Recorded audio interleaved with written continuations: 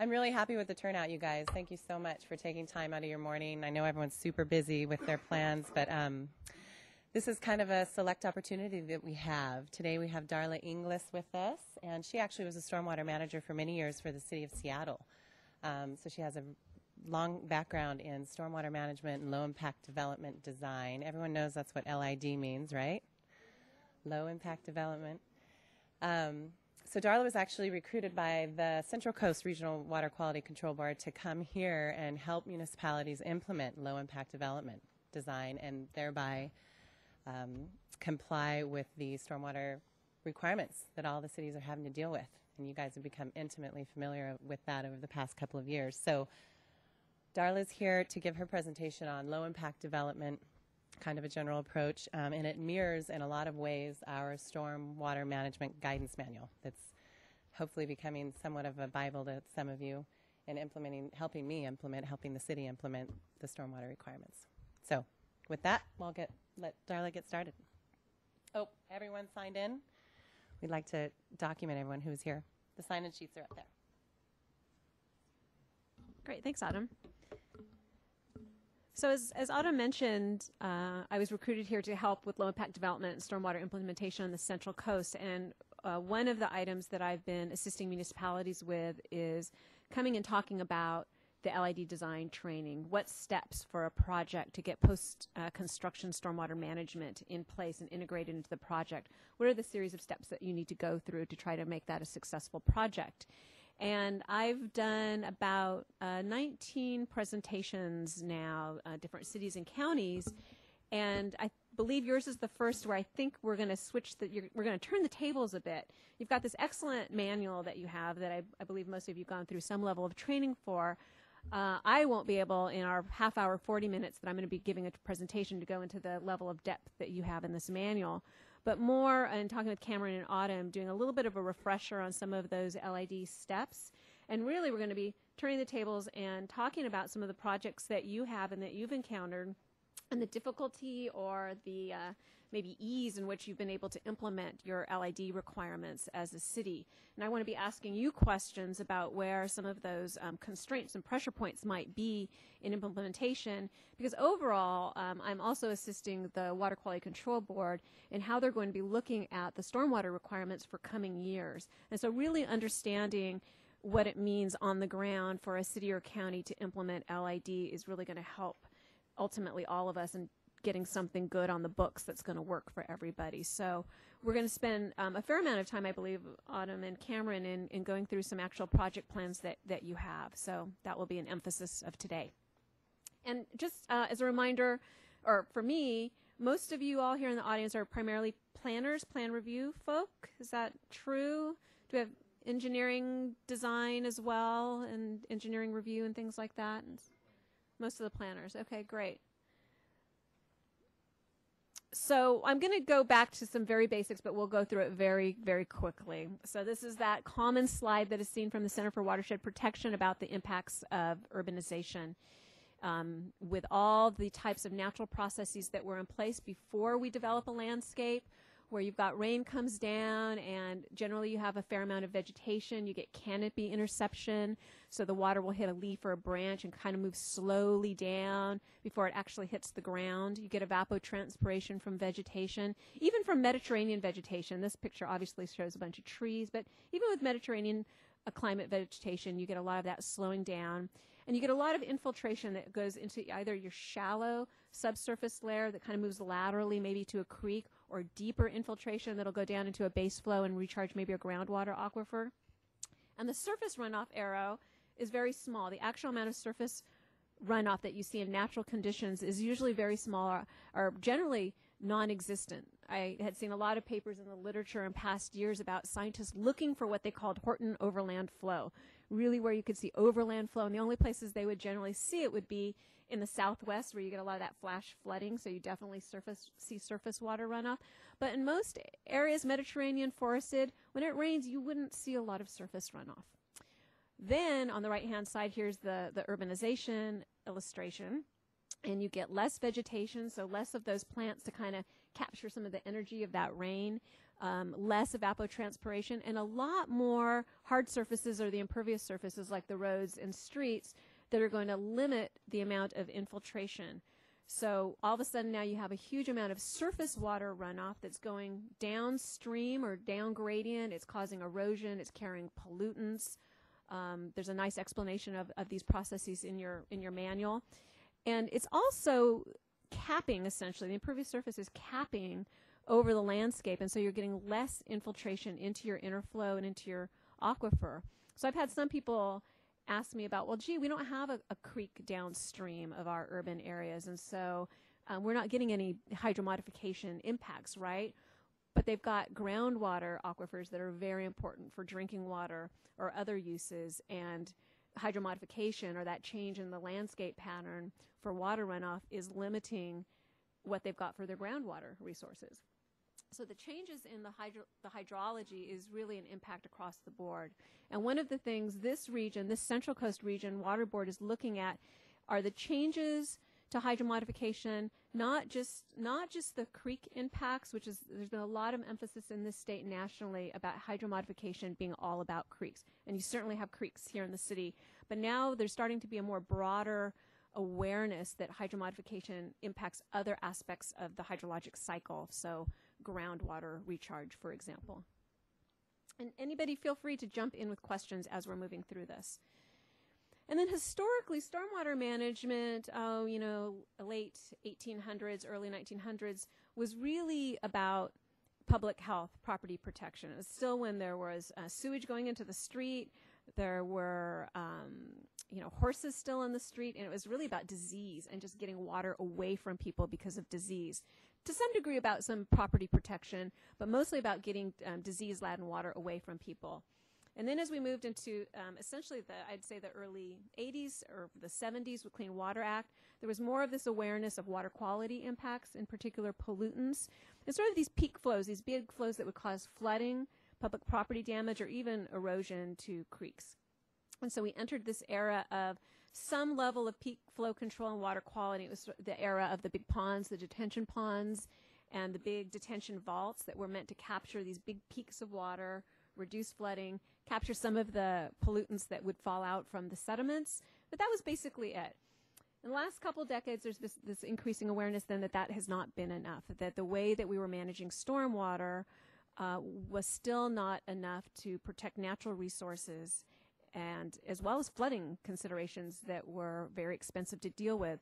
So now we're in this era where I think the term that's used most is we're, t- we're talking about mimicking natural functions. We're like, okay, we've done sort of these uh, hardwired type approaches, and really it must be that the trick to managing stormwater is if we can manage it more like nature would manage it or mimic it, then theoretically we would do a better job at protecting natural resources.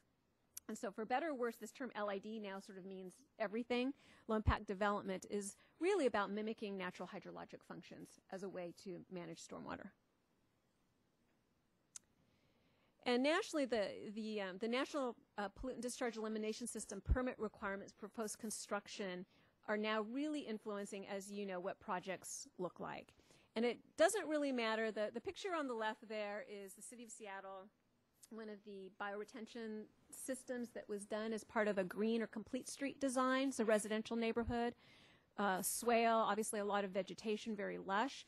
Picture on the right is from uh, city of Reno. Same design concept, bioretention, soils, infiltration, vegetation, obviously very different looking because of the climate. But the, the point being that the design principles and how we're managing stormwater has been changing in the last decade or so drastically from those detention ponds and vaults to now these types of engineered natural looking systems. They may have soils, they may have vegetation, they may be pervious pavements, but they're all about trying to induce um, processes and functions that are like nature.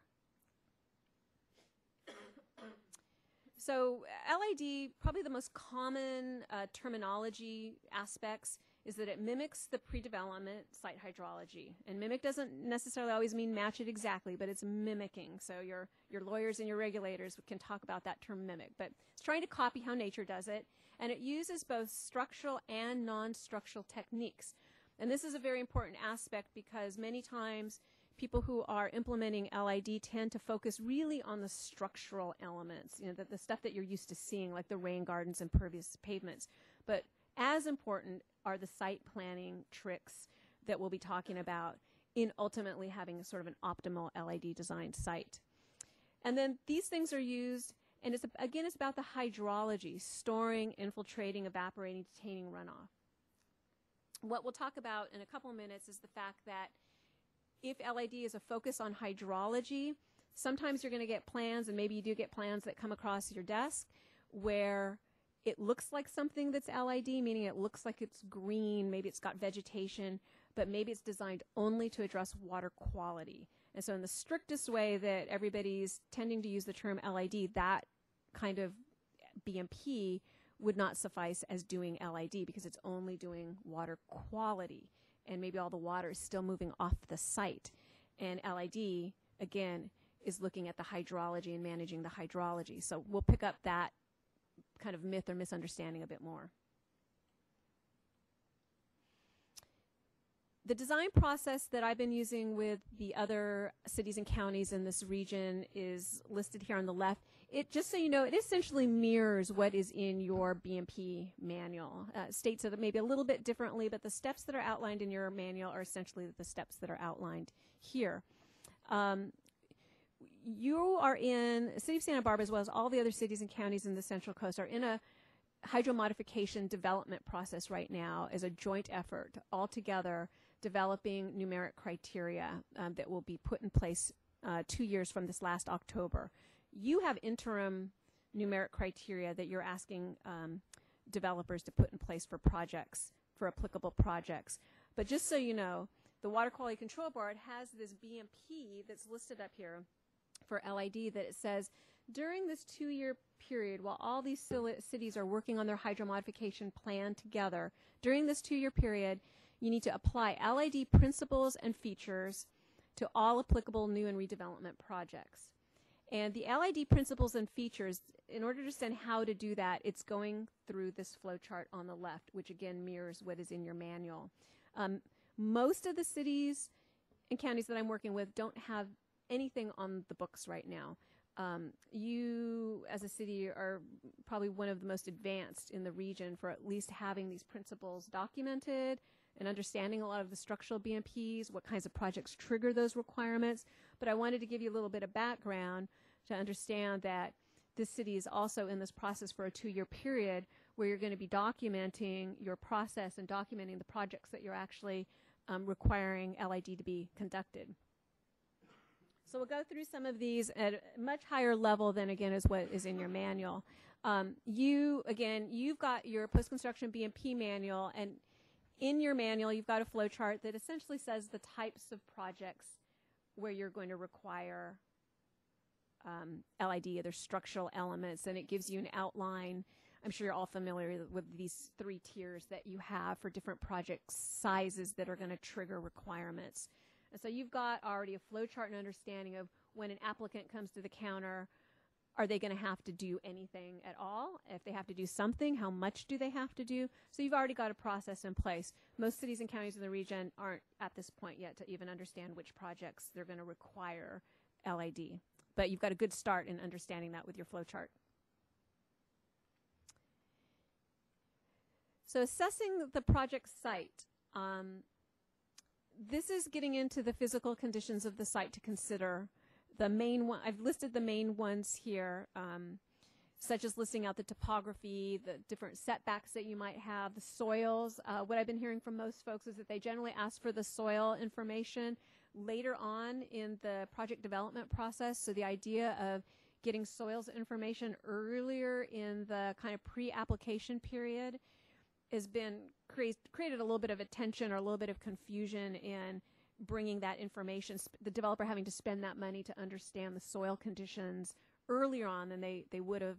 But in order to understand how you're going to deal with the hydrology, what structural BMPs you might be able to put in, you have to know a little bit about the soils right from the get go. Um, other information that, that you deal with all the time, um, whether or not there's any environmentally sensitive areas, any existing underground infrastructure that might be in place, and then the hydrology of the site as a whole.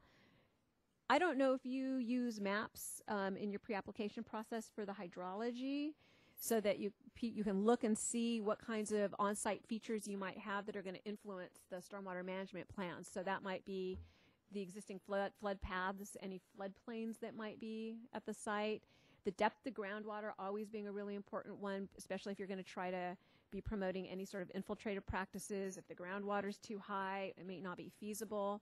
What sort of receiving waters you have, and that's going to influence. If you have a standing body of water as a receiving water body, you may not be as concerned about erosivity than if you were to have a stream downstream from the site. Or maybe you might be concerned with uh, particular pollutants of concern. I'm curious to know how much of this do you request in your pre-application period? Any of this type of information to help you understand the site or pre-application meeting? I think it depends on the project. Depends on the project applicants will take advantage of the pre-application process and come in and really ask, you know, what do I need before I actually officially submit the project? Um, but really, this level of detail, and correct me if I'm wrong, you guys, isn't required until they submit officially to our development application review team. Okay. But it is before the project gets too far along. And that includes this uh, type where you get the topography and the whole deal.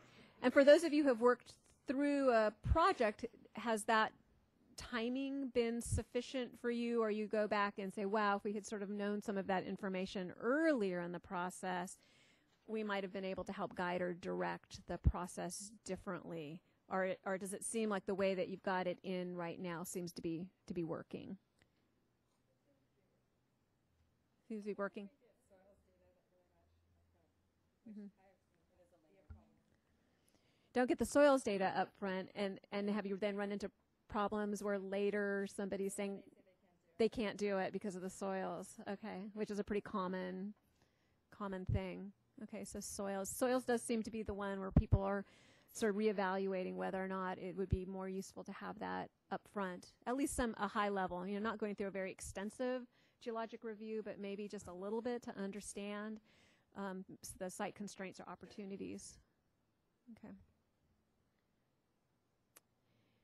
So again, much more detail in your in your own manual on site assessment. I don't know, um, Autumn or Cameron, if you wanted to add any zingers to site assessment related to how you do the process. I can actually say something. Yeah. on Yeah. site assessment, And I should get up and get in the microphone. Um, one of the things that I know is coming up a lot is when applicants complain that there's a late hit, right? Because they've already kind of designed their project, they have an idea of what they want to put on the on the site, and so I, that's something that we've really been trying to in our individual meetings that we get together with planners. Um, that the site assessment up front before the project even is um, fully planned out is is kind of the the major benefit that a, that an applicant can have. So, um, the late hit complaint is something that I think really just drives back to that. Um, I had another point about it, but I forget what it was. Anyway, keep talking. I'll jump in. Yeah, it's cheaper. You save a lot of money if you do the site assessment up front. That's just the main thing. That the project applicant saves money in the long run. And that might just be a learning learning curve. Folks start learning that to do it, it's cheaper that way. They're going to start learning to come into the process earlier. You'll learn more to be asking for that information earlier. But there is that transition period where the information doesn't come in soon enough, and you end up having to do the iterative process more in the design. Good point. And then defining defining the stormwater goals. You have some stormwater goals that I'm going to put up, or stormwater um, numeric criteria that you have in place right now. But I wanted to point out, just from an, a background understanding how this is being looked at in the state, there are different regulatory requirements, and they and they tend, for better or worse, to be divided right now into the water quality requirements and any of the flow control requirements, and and then there's always flood control requirements. But I'm I'm sticking to the environmental elements right now. In the water quality requirements, oftentimes the language that um, will be seen is treat the 85th percentile runoff volume. You're, you're, treating a certain size storm. It tends to be the small storm that's carrying most of the pollutants. Um, sometimes, it, and it's stated as a volume that you can treat. Sometimes it's treated as a flow rate.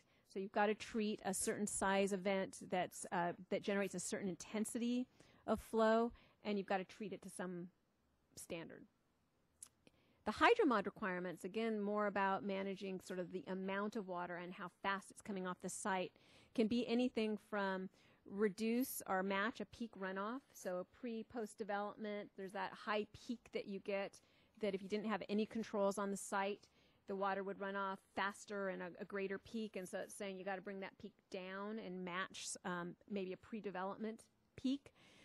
You get hydrograph matching requirements that might say if the pre development hydrograph is nice and smooth like this, then your pre and post has to match that hydrograph. That really throws people for a loop. Um, sometimes it may be to retain, it's a volume retention of that same 85th percentile runoff volume. And what's interesting and is really con- confusing a lot of the other groups I work with is to see that 85th percentile both in the category for water quality as well as for the hydromod.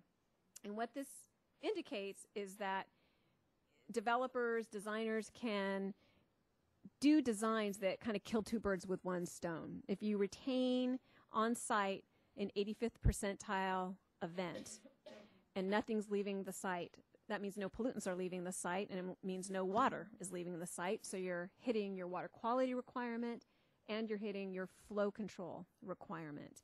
And I've the last three projects that I have reviewed between uh, consultants and municipalities for new redevelopment they have put in um, water quality designs like bioswales that address water quality, and they're calling it LID Hydromod.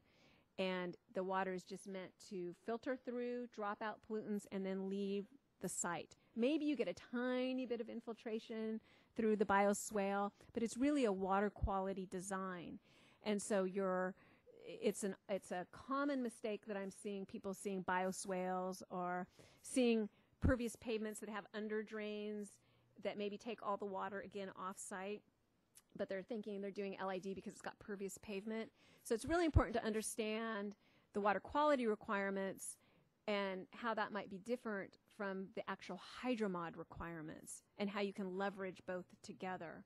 So it's probably the most, again, the most common mistake that I see in looking at project plans um, is just having the water quality control. Uh, the other kind of hydromod, oh yeah. Can you explain, because I think normally we, for our requirements, we discuss it in the whatever year storm. Could you explain what the 85th percentile means? Yeah, it's usually the 85th percentile might will equate generally to a certain type of storm size. So I don't know what it is for Santa Barbara, the one inch storm, and the one inch 24 hour, which may coincide also with a six month, eight month, nine month rain event sort of thing that will generate a one inch storm, which tends to be 85th percentile. When you look at all the storms over the course of the year, 85% of that water is coming in in a given year in those small storms. So you want to you want to catch if you can catch the idea being scientifically if you can catch all the small storms and deal with those, you're actually managing the majority of water that falls in any given year. And additionally, the small storms again carry carry most of the pollutants. In in stream and river systems, the, the shape that you generally see in a stream isn't generally because of the big storms that come crashing through. It's the small storms, the repeated small storms that give most streams the physical look that it that it carries. And when you get that bank on a stream, that bank is usually called the bank full um, event and that's the event that tells you is that storm that banks over is the storm that gives it its most common shape. So they try to tie it the requirements to the science of either protecting a stream channel or how much a pollutant is carried. And really for design, it's going to be easier to design something that can address a lot of tiny storms that adds up to most of the water than trying to design a system that is going to address a giant storm. Uh, let's see, 5% EIA is also seen. That's 5% effective impervious area where the site has to function as if only 5% of it is impervious. And the city of Lompoc has this in place, and I believe the Ventura NPDES permit is being contested because of this kind of requirement. It's very hard to meet, but it's another one of those regulatory requirements that seem to have picked up a bit of speed and people kind of liked the sound of it, and so there are some requirements that say something like 5% EIA. You figure it out, do whatever you can, but only 5% of the site is, is allowed to act like impervious area and run off in that manner, pollutants or volume. And then sometimes you'll see in the hydromod requirements, it will say uh, then LID where feasible. And I stuck this in there as a bit of an apple to the oranges because LID is just the tools that you use to try to achieve these other requirements. In and of itself, it is not a numeric requirement. With the way that lawsuits have been going, it tends to get put in with the regulatory language. Um, the best way to see LID is that to get to these types of numeric objectives, you want to try as your first line of assault using LID type measures that more mimic those natural processes, but it in and of itself is not really a numeric requirement. So these are just the different things that are floating around the state right now and nationally. And then you have your requirements set up based on your tiers. So, to my understanding, really your tier three projects um, with your four, basically kind of residential 4,000 square feet of new replaced impervious surface, um, your your different types with your commercial, etc., sends you down a flow path um, to bring you to actual numeric treatment requirements. So what you have in tier three is you have a water quality treatment requirement for retra- retaining and treating the one inch 24 hour storm event. You have a peak runoff management to, to manage that 25 year peak up to the 25 year peak. And then you have a volume management that is um, something like trying to do a pre and post management of water, certain volume that's been that would potentially be generated by the impervious surface. So in this, what's nice about yours is that you've got water quality, you're addressing your flood control through this, and you're getting the hydromod piece both through your peak runoff and through your volume reduction. And a smart developer will come in and say, what's the least amount of design that I can do to meet all those requirements? Can I design one facility or two facilities and hit that numeric target?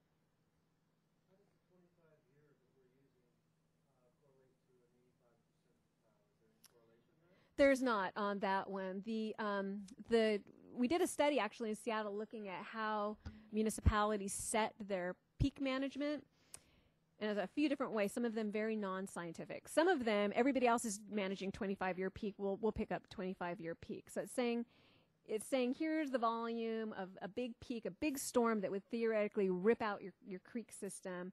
How much of that pre and post project volume can we actually detain on site? And it's usually detention, a detention type facility that's going to address that peak. So it's going to be a, a, large volume. The other way that people do it is they look at what's your flood control service that you provide to your customers. We will protect you in the street and the infrastructure up to a 25 year storm. So we're going to manage peak volume of a storm up to the 25 year event. After the 25 year event, you may see flooding in the streets or you may see flooding on your property. Uh, it takes on a different objective when you start talking about the 25 year. The tiny, tiny storms, water quality, changes to channel, um, bigger peak events, flood control, and trying to at least tampen down fully blowing out, um, let's say, a creek system. You've got three. You've got the 85th percentile um, in your in your treatment, and it says retain which is really key. So it says water quality treatment requirement retain and treat the one inch 24 hour storm. So, so you're retaining it. Where folks are having to modify, and you guys are already there, is that sometimes in the what's called the attachment for general NPDES permit, it might say treat the the one inch storm, and you can use those um, flow control or flow through type like Filterra units and, and things that just allow you to flow the water through and the developer would be able to say, yeah, you know, we met the 85th percentile or we treated the one inch storm, but by not retaining it, they're not doing any LID aspect of it. So you've got retain in there, which is really a good thing to have in there.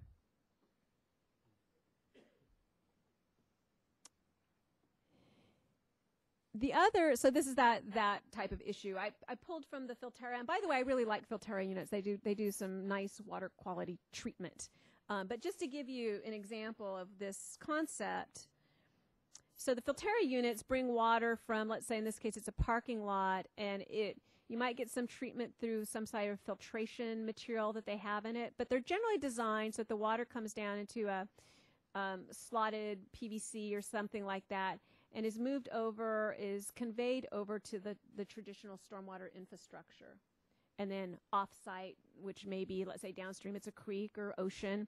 So you're getting nice, if it's designed properly, you're getting nice treatment, but the water is not staying on site.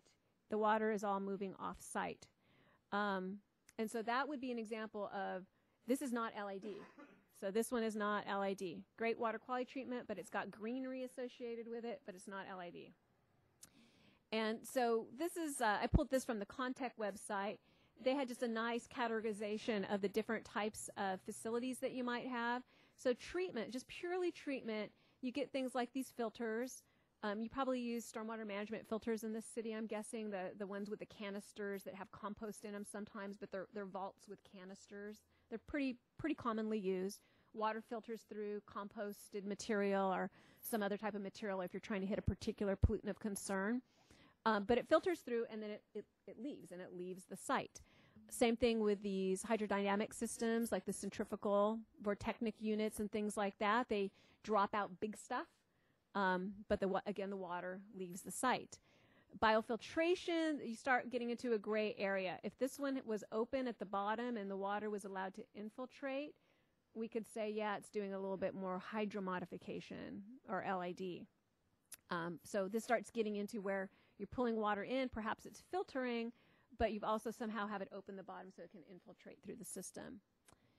Um, then your detention and infiltration type facilities, this is where you might get your classic vaults, um, things like that. They're just made to basically be detention and store a large volume of water. That might be how you're getting at peak storage, sometimes underneath parking surfaces. If it allows infiltration, you're getting some LID. Um, then some of the runoff reduction methods like rainwater harvesting. You're storing that water, you're keeping it from moving off the site. Theoretically, you're using it again. It's LID. And then porous pavers that do allow full infiltration, you're allowing for hydromodification to be managed. Uh, the this one? So usually there's a it's a storage. It's structurally it's got structural integrity for the, the vehicles on top. Water comes in through um, an inlet or it comes in directly from the pervious surface itself. And it's made, it's lined at the bottom so that it, some of these are lined so it does not infiltrate and you're storing it like you would a, a vault, a regular detention vault, and then it would be released back into the stormwater system. In other cases, um, this is kept open to the substrate below, to the native soil. And so it's storing and then it's slowly infiltrating back out. And you always have to have an overflow or something designed so that if that storage reaches capacity and it's not infiltrating quickly enough, the extra stormwater can can go off off the site or away from the feature. So, and I've got a, I got I have a couple pictures that we'll get to.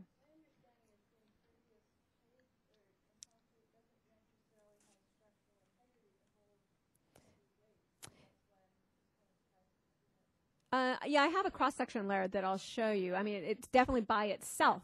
It's got to have a subgrade with the right size aggregate and the right size structure around it. And if you're going to use it for storage, it needs additional structural integrity around it to, to hold that water in. So there, there are a ton of different designs that give you different objectives. And this, I pulled this also from Contech. I kind of liked how they were putting some stuff together. But in thinking about communicating with the applicant and the strategy of how to meet those numeric requirements that you have in place, what's the kind of plan of attack they should be looking looking at to leverage their money. The sorry that this isn't seems this is a little bright in here still, but what this starts with are things that are talking about runoff reduction. So if LID is about managing the volume of water, you're going to start with things that are managing keeping the water from leaving the site, right? So anything that might do any sort of surface infiltration might be first on the list for them to be looking at. So pervious pavements that do allow kind of that subgrade infiltration or bioretention systems that allow infiltration. Um, these are the easier, greener, sort of cheaper. Then you might move into the example on the previous slide where um, it's got subsurface infiltration, so it's a bit more engineered. You're getting a bit of storage going with it, but you're still getting that water to infiltrate at the site and not leave the site.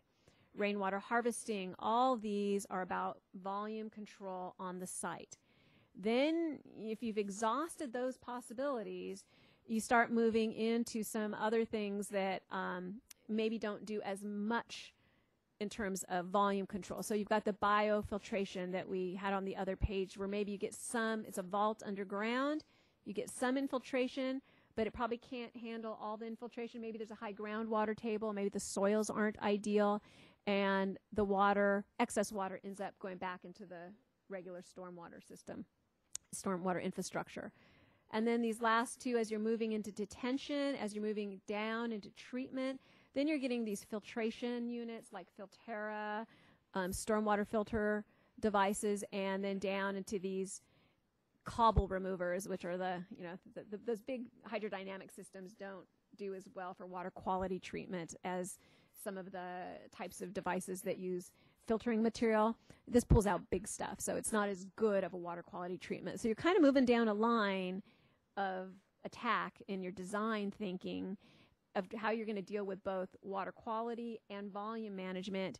And over here on the right, you're going to have some detention requirements and storage needs because you're also providing your community with flood control. So I thought this was a nice graph to sort of show that thinking and how one might work with the applicant to say, help them understand the types of BMPs that they might be want, wanting to look at. and then the, and then using the actual LID design principles and avoiding those principles in the first place. And I'm gonna I'm gonna start whipping through these pretty quickly, um, since we were gonna try to stick to under an hour on this uh, PowerPoint.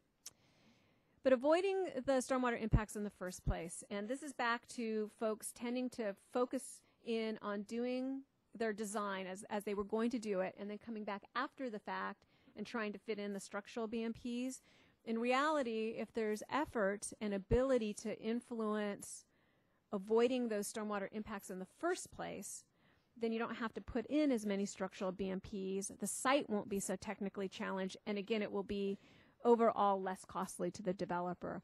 So the, the these non-structural design elements don't get their fair share, I think, in the LID design process, and yet they're probably the most important. Um, I pulled out just a handful that would seem to be appropriate to this area, but there's there's more. But minimizing clearing and grading, protecting and enhancing soils, minimizing impervious surface, and disconnecting impervious surface.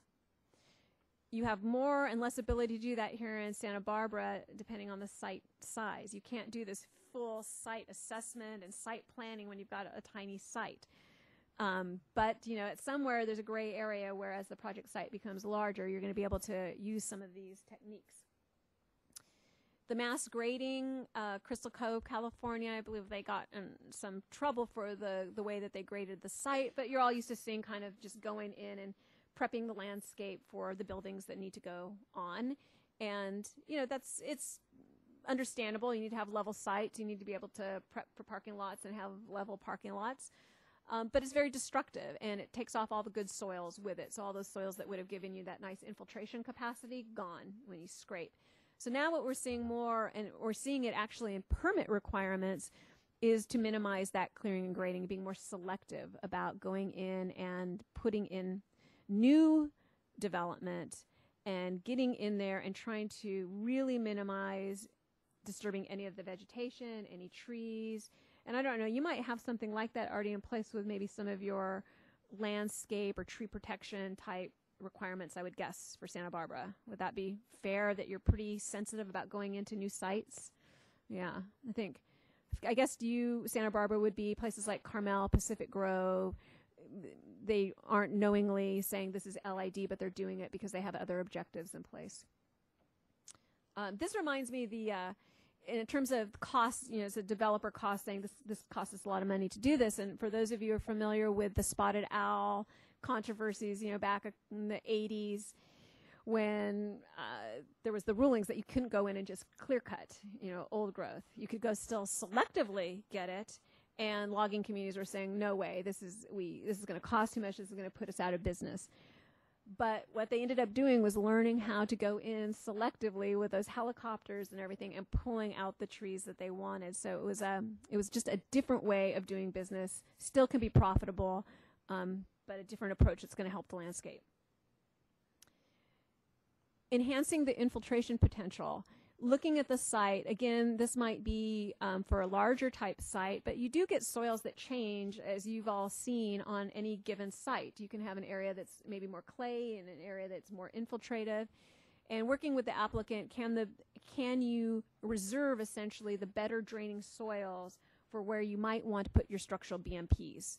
You know, if there's not other constraints in the way, can you do that? On the right hand side, we've got the soil amendments. We're starting to see nationally that soil amendments are starting to become requirements in NPDES permits. So, not only if the soil's been scraped, even if it's not been scraped, but they want to see um, an enhanced ability to infiltrate, there are starting to be requirements where they're um, putting in large scale soil amendments because those soil amendments, especially for the bioretention systems, are the ultimate workhorse of how this water is managed, these small storms. It's the sponge. Um, and so even with clayey soils underneath, if you've got good bioretention soils, you can meet, oftentimes meet your numeric requirements. So there's been a lot of emphasis on soils and a lot of increasing emphasis on soils.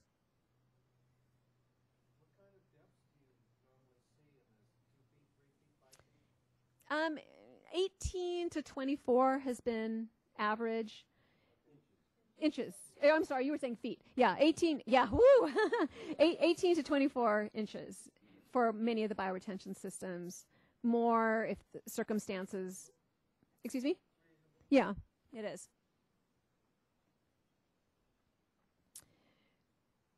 Other technique is just minimizing the amount of impervious surface area that you're dealing with in the first place. Um, it was funny. I, I pulled this from a, a city in California in the last training that I gave was for city of San Luis Obispo, and a guy said, "I know where that's in because I just I worked there. I just worked there two years ago. I know where this is. This is city of Elk Grove up by Sacramento. For a while, it was the fastest growing city. It went I can't remember how many few hundred thousand people it grew in just a, maybe four years or something. But the point of the slide, besides all the impervious surface, is uh, I wanted to ask you this slide's a little deceptive, but think about roadways, the, the right of way essentially. So sidewalks and streets. When you when you look at an aerial view of any block, downtown, Santa Barbara, your more your residential areas, what percentage of the impervious surface of the whole, like if you're looking down at a plan view of a neighborhood, do you think the street right of way makes up? The street, up. It's closer to 70. 70% is pretty consistent. This one, I need a different picture because they have their lot sizes really small here. But if you look at all the impervious, the rooftops, the whole bit, the street is just because we have certain standards for city block lengths, it adds up to about 70, 60, 70% of the impervious area. So I'm I'm really big on dealing and doing things in streets because it's also so it's carrying most of the flow and it's carrying most of the pollutants, either pollutants that are coming from the adjacent properties or pollutants that are generated on the street because of vehicles or the street itself kind of decomposing. So streets streets are a big deal. But it's really hard to reduce roadway widths because of our parking and our vehicles.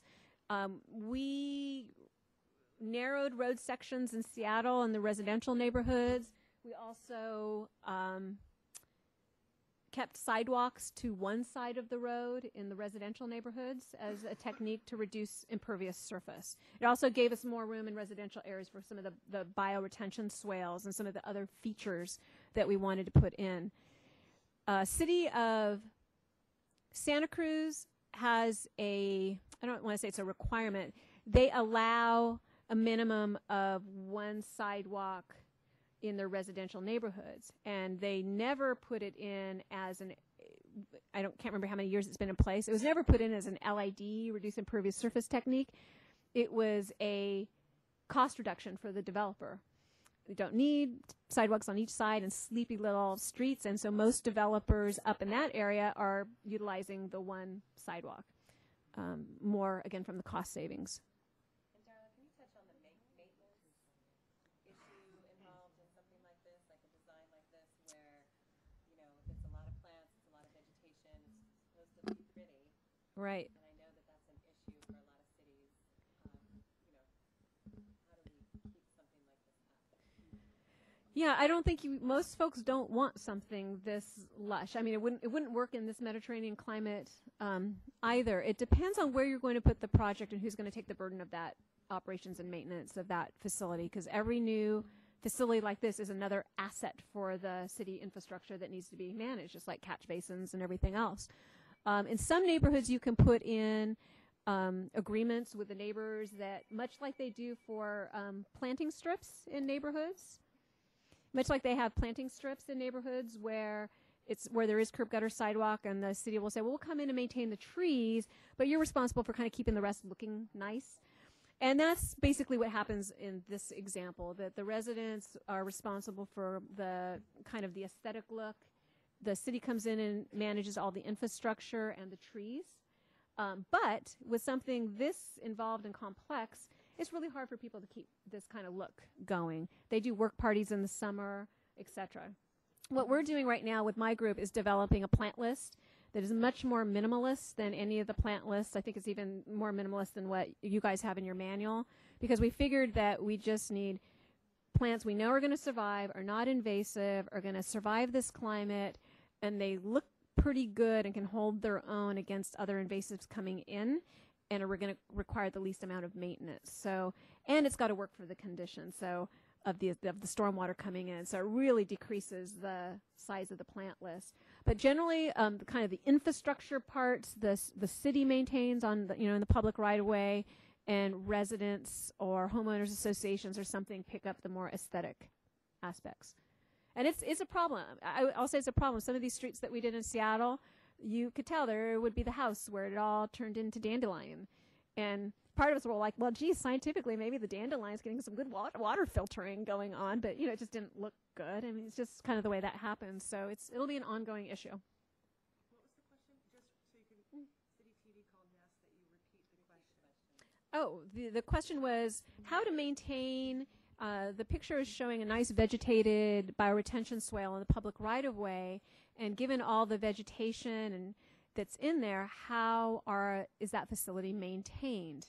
Uh, so the response was a, a combination between city, generally city crews, having to take up the responsibility whether they do it in house or they hire out crews or landscaping services for kind of bigger infrastructure like trees and overflow pipes and things like that, and residents taking on the um, operations and maintenance of the smaller plants and shrubs aesthetics.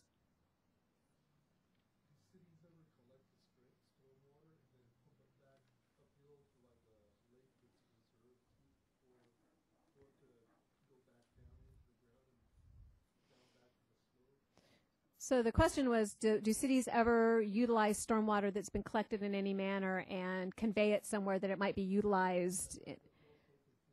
yeah, flood. We I've not seen that. We started to look at the idea of that um, in Seattle, where there were a lot of hills, and not necessarily pumping it back up, but the thought was um, somebody had come out with a design that had I don't remember the engineering term, but essentially a, like a conveyor. Um, what I want to say? Those things, um, mills that are attached that turn. Somebody help me! I'm like on charades. Yeah, yeah, yeah. That you could get in, and if you could move some of that stormwater in down the pipe with some slope, you could move that wheel and generate some electricity. So they were using that. They were looking at an example of using the stormwater in that way, any excess, to actually help bring electricity to the uh, Seattle Zoo. But it was it was very kind of highfalutin ideas of, of how to manage it. The other way is to minimize impervious surfaces like driveways. Um, shared driveways, this, even though the picture on the lower left shows a picture of a shared driveway in Sacramento, people on the West Coast, by and large, do not like shared driveways. Uh, you know, so your neighbor parks right in the middle, who owns it, if it cracks, all that sort of stuff. People on the East Coast, much more, I don't know how they figured out, but a lot more shared driveways on the East Coast For California, what's going to work more are are the shorter driveways to reduce impervious surface, rather than having a driveway that goes that goes back. And sometimes that's consistent. Sometimes it's inconsistent with what a city might have as what they want the homes to look like, where they want the garages to look because of the aesthetics. Um, I heard one individual tell me from a city that, yeah, we love short, our developers love short driveways, not be- necessarily because of the reduction of impervious surface, but they were saying, boy, today's society, people want to drive up into their driveway, the shortest distance, close their garage door, and get into their house and not really have to walk around in their front yard and integrate at all with their neighbors. And I, you know, I've seen that. That that's true. So the whole short driveway had a totally different purpose, um, rather than any sort of stormwater management. But it's so it's a common one that that you'll see a short a short driveway, and permeable. Obviously, a permeable. I'm I'm not huge on all the BM structural BMPs that can be put on a residence because of changing hands of ownership and rain gardens getting filled in and this, that, and the other. But certain things like permeable driveways have a lot of longevity to them and they, and they work and they make sense.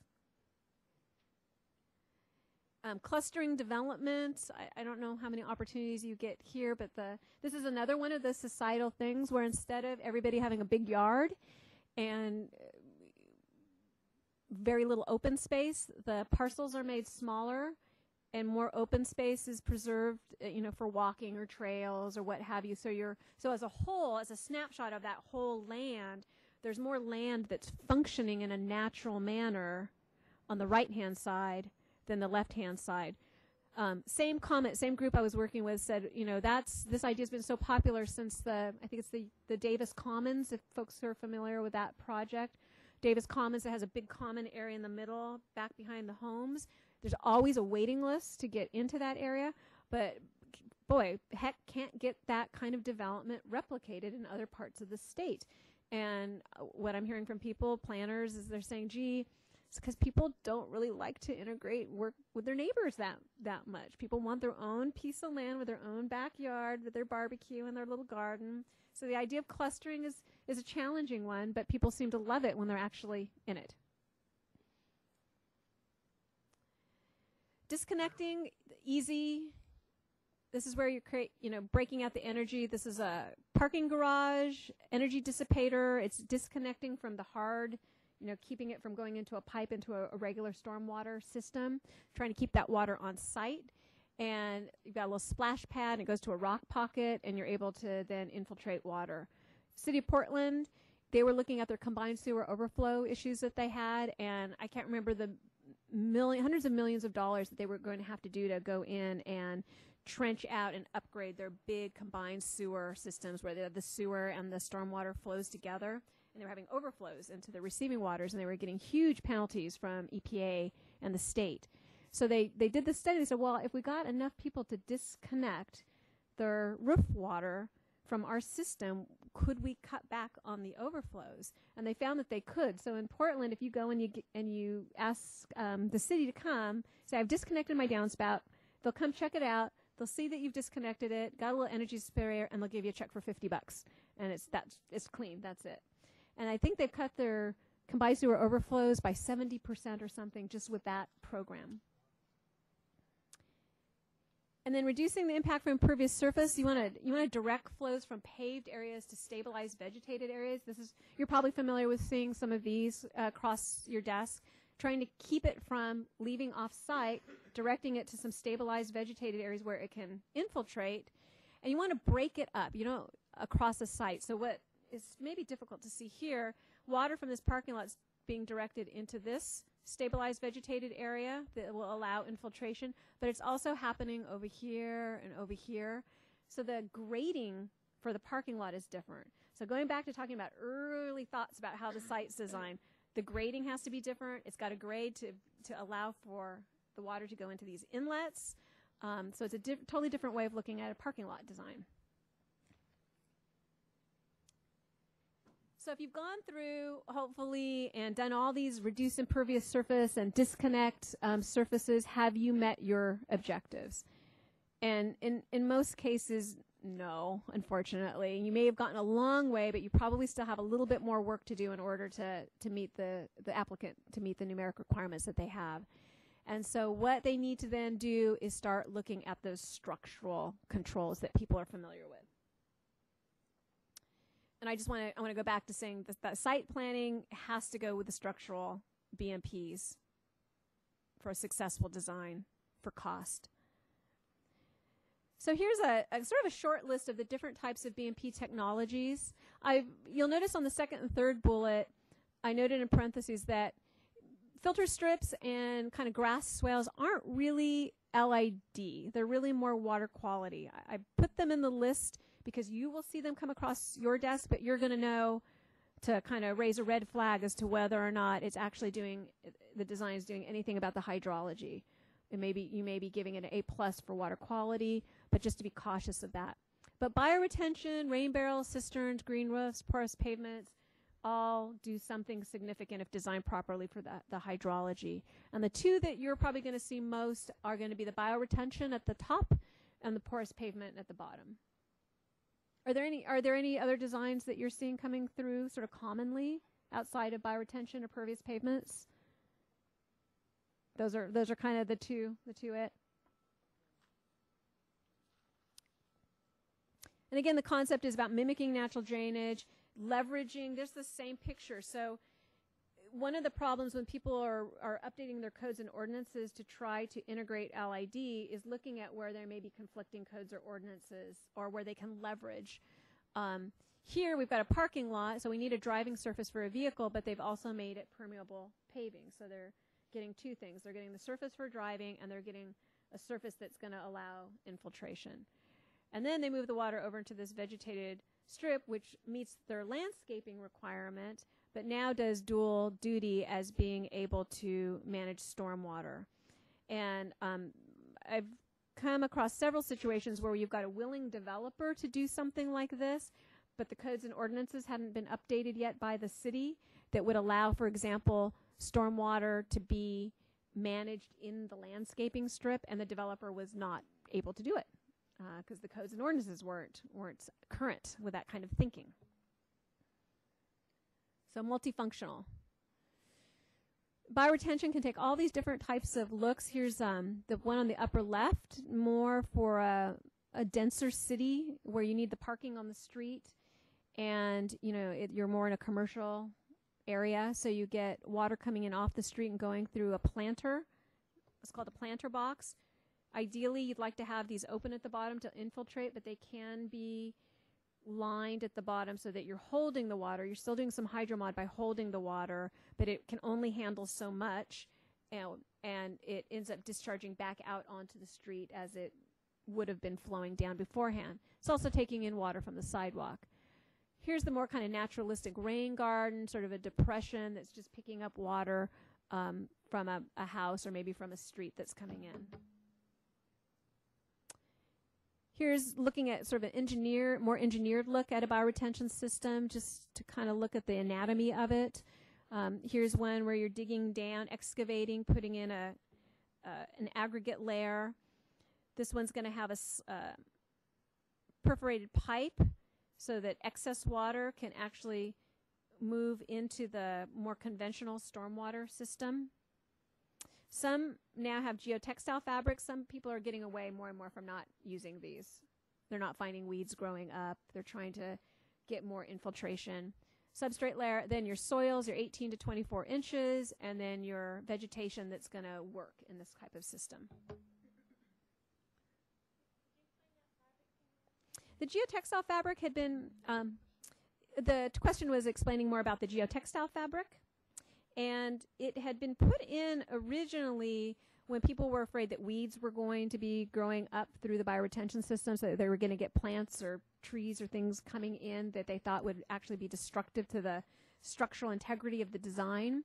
And they're finding that that's not really happening. And sometimes these liners would be made um, impervious if you actually did not want the water to infiltrate. So, for example, maybe you have groundwater contamination or contaminated soils. So, you'd like to use the techniques that a bioretention system brings, but you really don't want the water going through the contaminated soils and then further contaminating groundwater.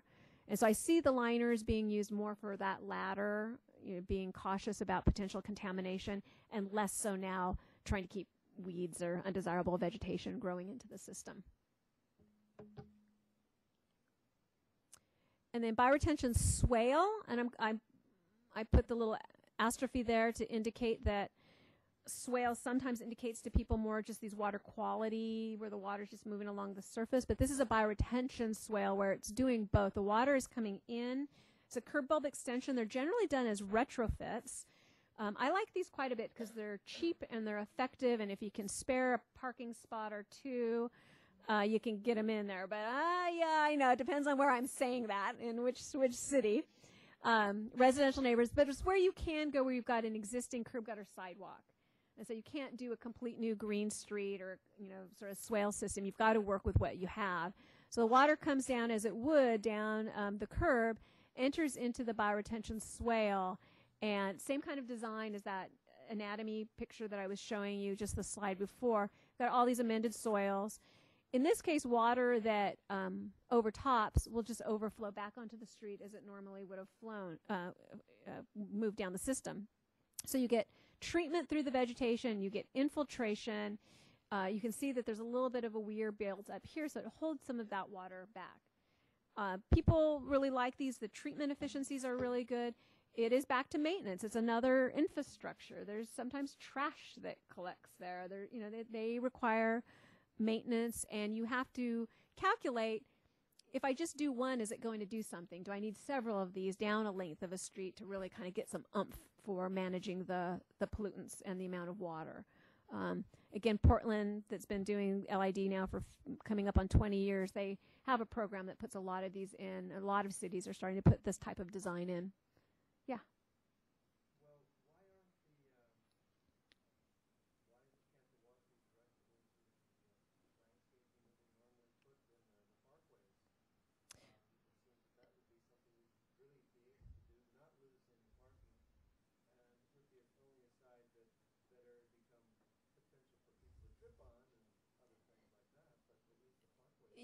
You mean like the ex- like some not exactly like this, but like an exactly, but more the.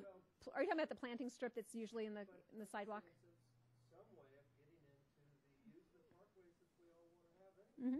You can. Um, the question was whether or not, uh, instead of having a curb bulb extension that extends into the street and takes up precious parking, can the water be directed from the street off into the landscaped area? And it's and it's it is a grading and we we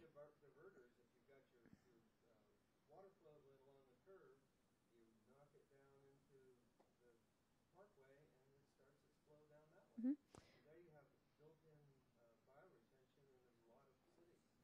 you're absolutely right. You you can do those. Sometimes the grading isn't as simple. It depends on where you're at, and it depends how much infrastructure you might have right at that spot. Yeah, but but it, but it is a possibility. Mm-hmm. Mm-hmm. Absolutely. Yeah, it's it's a it's an area of potential for that same type of concept design. Yeah. Um, the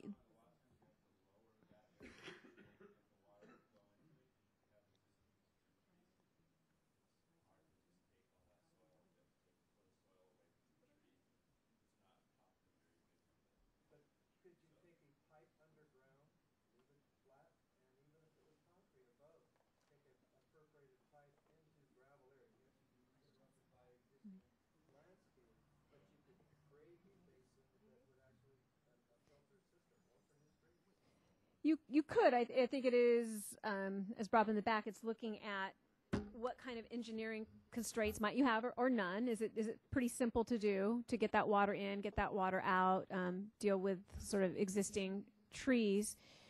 Um, especially if your alternative of doing the cur- curb bulb is not really an attractive alternative because you'd be losing parking. The for the examples that I was giving, the curb bulb at five thousand bucks a pop is so much ish is so much cheaper than going the other route. But if you're constrained from a curb bulb, the type of approach, or at least evaluating that, might work.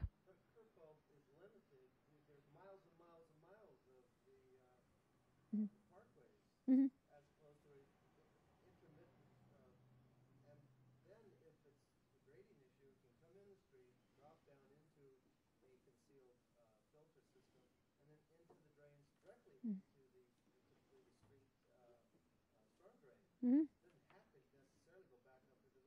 Hmm It does, and as we did one like that in Seattle, and it does just become that engineering um, on paper makes sense when you're actually trying to get the grades and the slopes of the pipes moving down the street so that you, you can connect to the existing infrastructure. It's just got it's just got to match up, but it's feasible.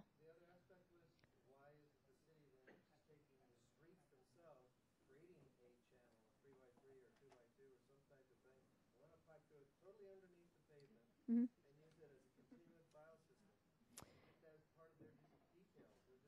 Yep. And some, if you look at the city of LA, um, they have new street specifications that just came out a couple months ago, and they're looking at things just like that.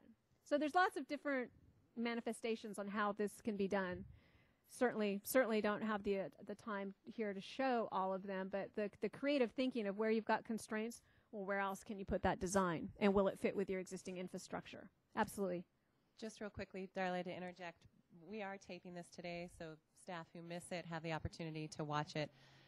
We're getting away kind of from finishing the presentation to going into questions, which is fine. This is completely informal and, and free form. So just to reiterate what we were discussing here, we're talking about the opportunity that parkways and existing vegetation and areas present for possible LID and stormwater management. It's a really good point.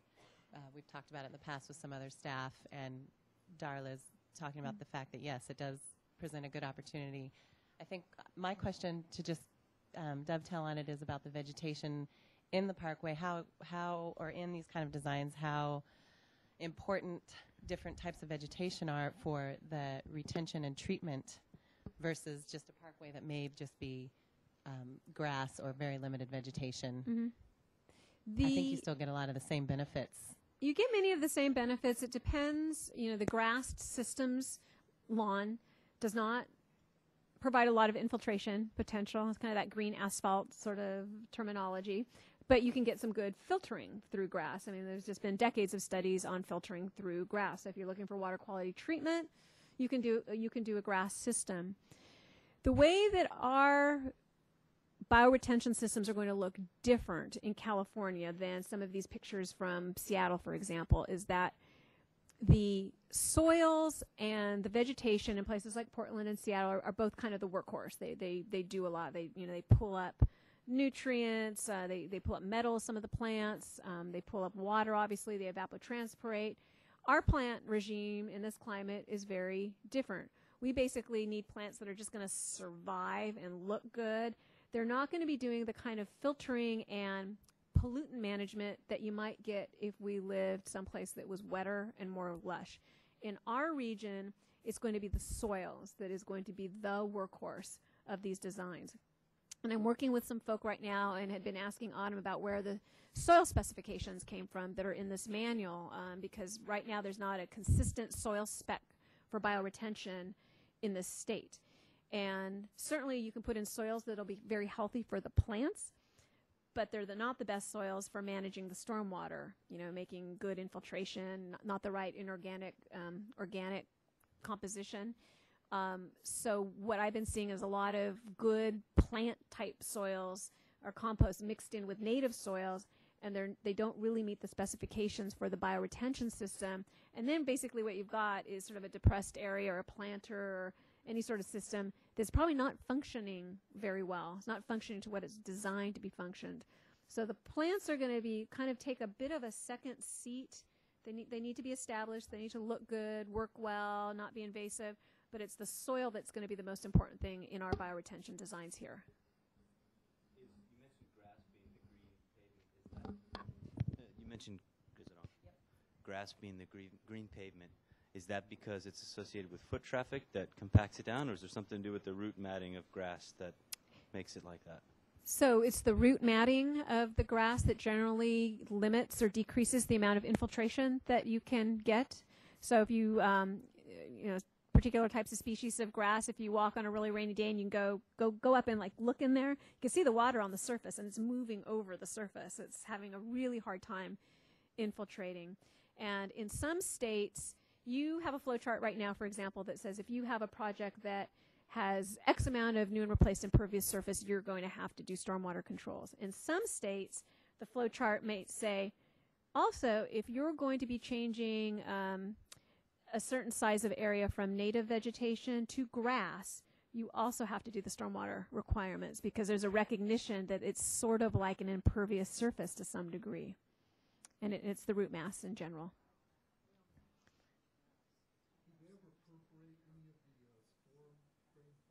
Yes, yes. Thank you for mentioning that. I didn't. So oftentimes the those uh, pipes um, in a lot of these, the PVC pipe will be perforated so that you are trying to maximize some level of infiltration and letting that water out of the pipe. It's got to get into the pipe too for the excess to go out, but you're trying, you're still trying to allow the system to function in a in a way like natural conditions. So you don't want to seal up that system. Thanks.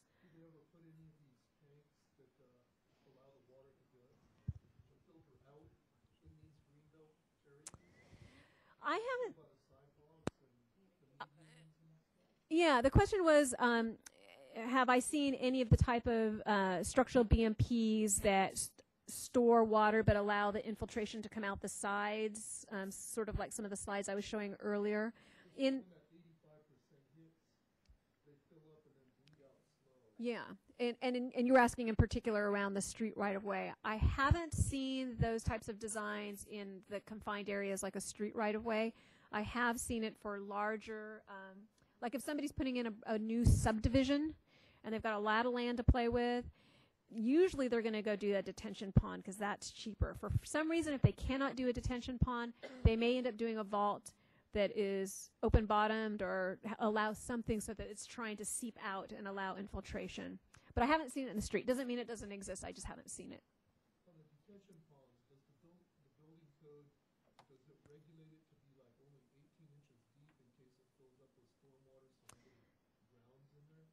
I don't know what your there's you know wet there's wet dry detention ponds and I don't know what your requirements are here for your kind of depth of water and how long you can keep that water there. There may be vector control for mosquitoes for length of time of standing water, but I don't know about your your design for your detention ponds.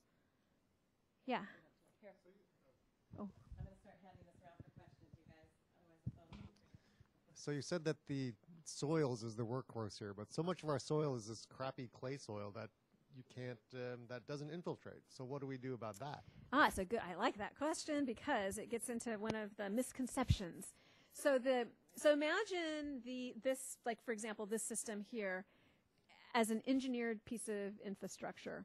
So the design and its performance is based on on this actual design. And so as well as understanding how much infiltration you're going to be able to get into the into the native native soil. So you've got to put the two pieces together of understanding. In a system where let's say there's really clay soils, uh, yeah, you certainly may be limited in getting that water to move from this system down into the into the native soil. But the soil that's there, that bioretention mix, does an amazing amount of work in being able to hold the water like a sponge. When we did our projects in Seattle, some of that more lush one that I was showing earlier, we designed those cells, much like these cells, uh, to manage the two-year storm event. And we waited three or four years before we we it kept raining and there was never anything. We had monitoring stations down the block and we kept waiting for water to come down that, that it couldn't hold. And it ended up that those systems managed the 100 year event purely by the soils in these cells. The underlying soils had a lot of clay. And that's why we didn't think we were going to be able to manage them very well. We hugely underestimated the storage and volume and slowing down that happens in these bioretention soils. And there's not a lot of modeling that's been done on it, and there's a huge cry for we need more modeling on that so that, that people can design these appropriately. So when people say, well, it can't be done in clays, um, you know, clay does give some level of infiltration capacity, obviously not like sand. You get some, but when you couple that with a well-designed bioretention system where a lot of the work is actually being done there for the small storm events, then you, you really can meet a lot of these numeric requirements. So it sounds like what you're saying is in order for it to work, you have to dig a big hole, get rid of your clay soil, and put in some good soil that will that will work. Well, you dig down. You dig down so you you don't need to dig it out completely, but you dig out to the specifications like that 18 to 24 inches and how much you want to. What what storm are you trying to manage?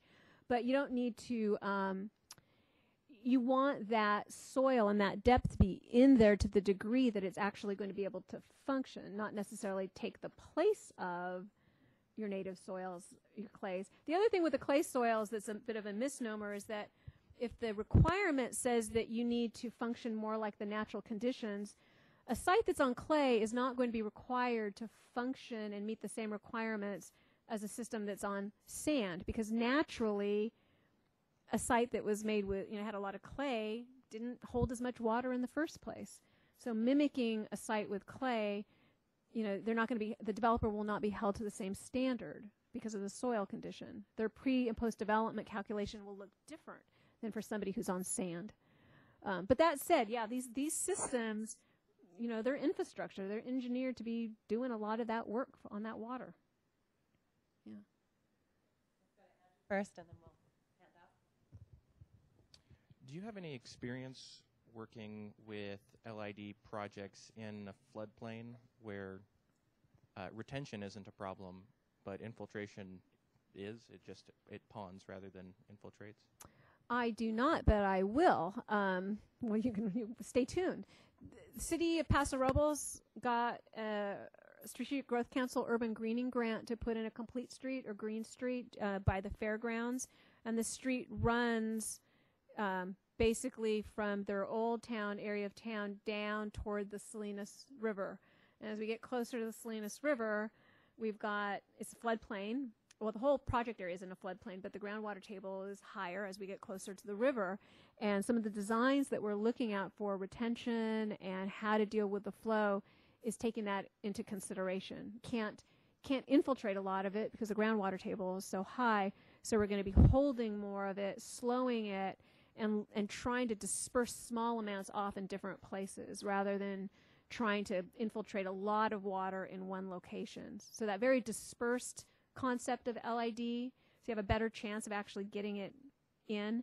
And in some cases, when you get far down where the groundwater is really high, that those bioretention systems won't be appropriate. It's you know the groundwater table is too high. So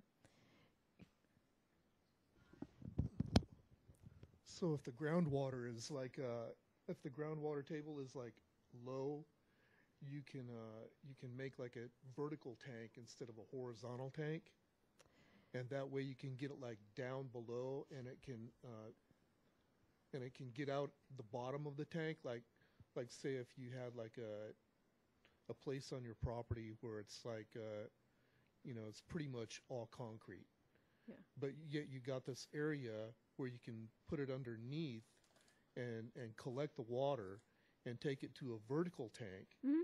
Which is much smaller in diameter but Mhm. really a lot deeper Yes, you can. So any any storage tanks that allow that just don't keep all the water and push it into the conventional stormwater system allow any manner to allow that water to in, you know release from the bottom or the sides or however whatever shape that is lay it flat lay it straight down it's like it's, it's underground storage tank essentially but for water for good water that you're gonna and then that can seep out for your maybe less um, infiltrative soils that can seep out it can it has more time to sort of seep out more slowly so it's, it's an underground detention Darla, how are we doing on the slides as far as getting I- through your presentation before we? yeah i was going to ask you i think we're getting uh, we're getting close and I'll, Okay.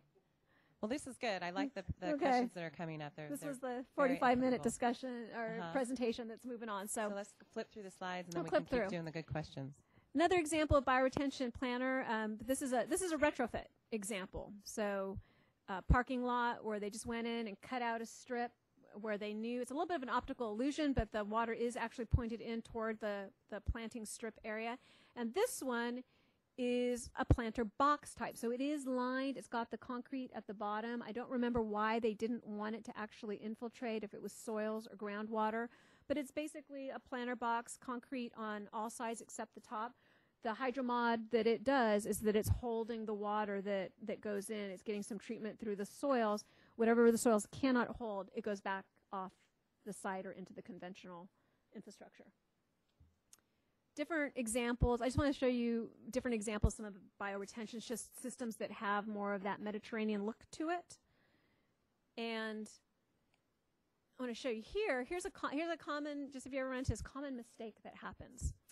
So this overflow for this bioretention swale is purposely elevated. So because we want to hold um, the certain size small storm event into the system, allow it to infiltrate, and at a certain size storm event, it's going to overflow and go back into the infrastructure or into this uh, conventional stormwater infrastructure. And I've heard, I think, three cases now here in California where when the folks are actually doing the construction get out there and they and they see this, they're like, that must be a mistake. How's the water going to get out? This thing is supposed to be designed flush to the to the system. That must be an error. And so they end up going in and designing it flush. And then none of the water is being held in the bioretention system and they have to go back and fix it. So just just a common mistake in case it comes across your desk. Some different designs. Inline and offline, you know, inline systems, much like some of the questions that are being asked. Water comes from the uh, parking lot. It's held, kind of stored with vegetation and rock, but it overflows into the existing conventional stormwater system. Sometimes this does not take a lot of space. Offline is where we were talking about earlier. It comes in off from the street and then goes back out onto the street. So offline, it doesn't. It's not really connected to the the hard stormwater infrastructure. And then cisterns. Uh, I'm all for cisterns. There's a, lo- a lot of complexity right now about how they're treated in terms of pollutants and how to maintain them. And ver- a lot of cities here in the state are trying to come up with standards, plumbing code standards, and things like that for using them. I see them mainly used on large commercial buildings to uh, deal with their HVAC, so their heating and cooling, and to some degree potable. Um, yeah, I mean, uh, non-potable uses such as uh, toilet flushing, stuff like that. But big barrels are wonderful from an education standpoint. Cisterns, though, is where you really start making a dent um, in the water, the volume water that's managed. I had somebody up in Pacific Grove tell me that i on a really foggy day, her rain barrel fills up. So, you know, rain barrels don't quite do it. Permeable paving, all sorts of different types, interconnecting, modular, concrete there on the right. Seven, eight years ago, they failed a lot and it, there weren't very many contractors that knew how to place them. They just weren't good. I didn't recommend them and they've really the industry's turned around and most of them are pretty dang good now um, and do a great job at infiltrating and pollutant removal and volume control. So here's a few examples. A pathway of uh, pervious concrete in santa monica. The right uh, the parking lot on the right is kind of a common example where to meet the stormwater objectives, they didn't need to put the permeable pavements on the whole site. And they decided not to put it in the driving lane where there's a lot of um, structure. And instead, they put it in the parking parking area. Then, lower illustration just shows a cross section where you've got the pervious concrete at the top, but you do have to have this structural layer aggregate material engineered to be able to handle the weight of vehicles. Sometimes um, pervious pavements are used on little maintenance roads, so fairly heavy trucks going through, not really frequently, but infrequently. Porous asphalt on the lower left. So you put in all your structural BMPs, you cross your fingers, go back. Did you make? Did you meet your numeric? Did the applicant meet your numeric requirements? You hope so. If not, it's sort of a an iterative process. And that's the last slide. And I was ending with my question to you. I saw that in your BMP manual, you have the DART SWIMP checklist, the Development Application Review Team checklist, where you are asking the applicant a lot of questions about how they're going to look at the site, how they're going to integrate low impact development into the site. I'm wondering if you've had the opportunity to use that checklist very much, and if you have, how has it gone? Or is it still kind of in a beta testing mode? There's a few of you in here who, who I know use it with their projects. Who wants to speak up?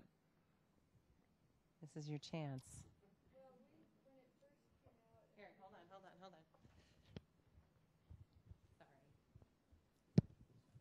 When it first came out a few years ago, um, nobody knew what to do with it. And then in engineering, we decided to just start going through it ourselves and, and filling in what we could.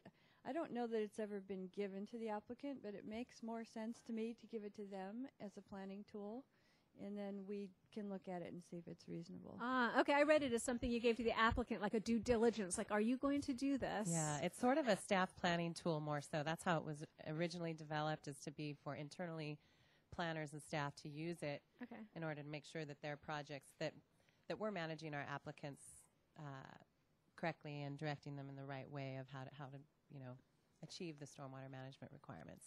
So the applicants don't see it as much as the internal staff. And has it been helpful then in when you come back and see? Not yet. Okay. Okay. What about you? Have you used it a lot on different projects? Yeah. I don't know how helpful it.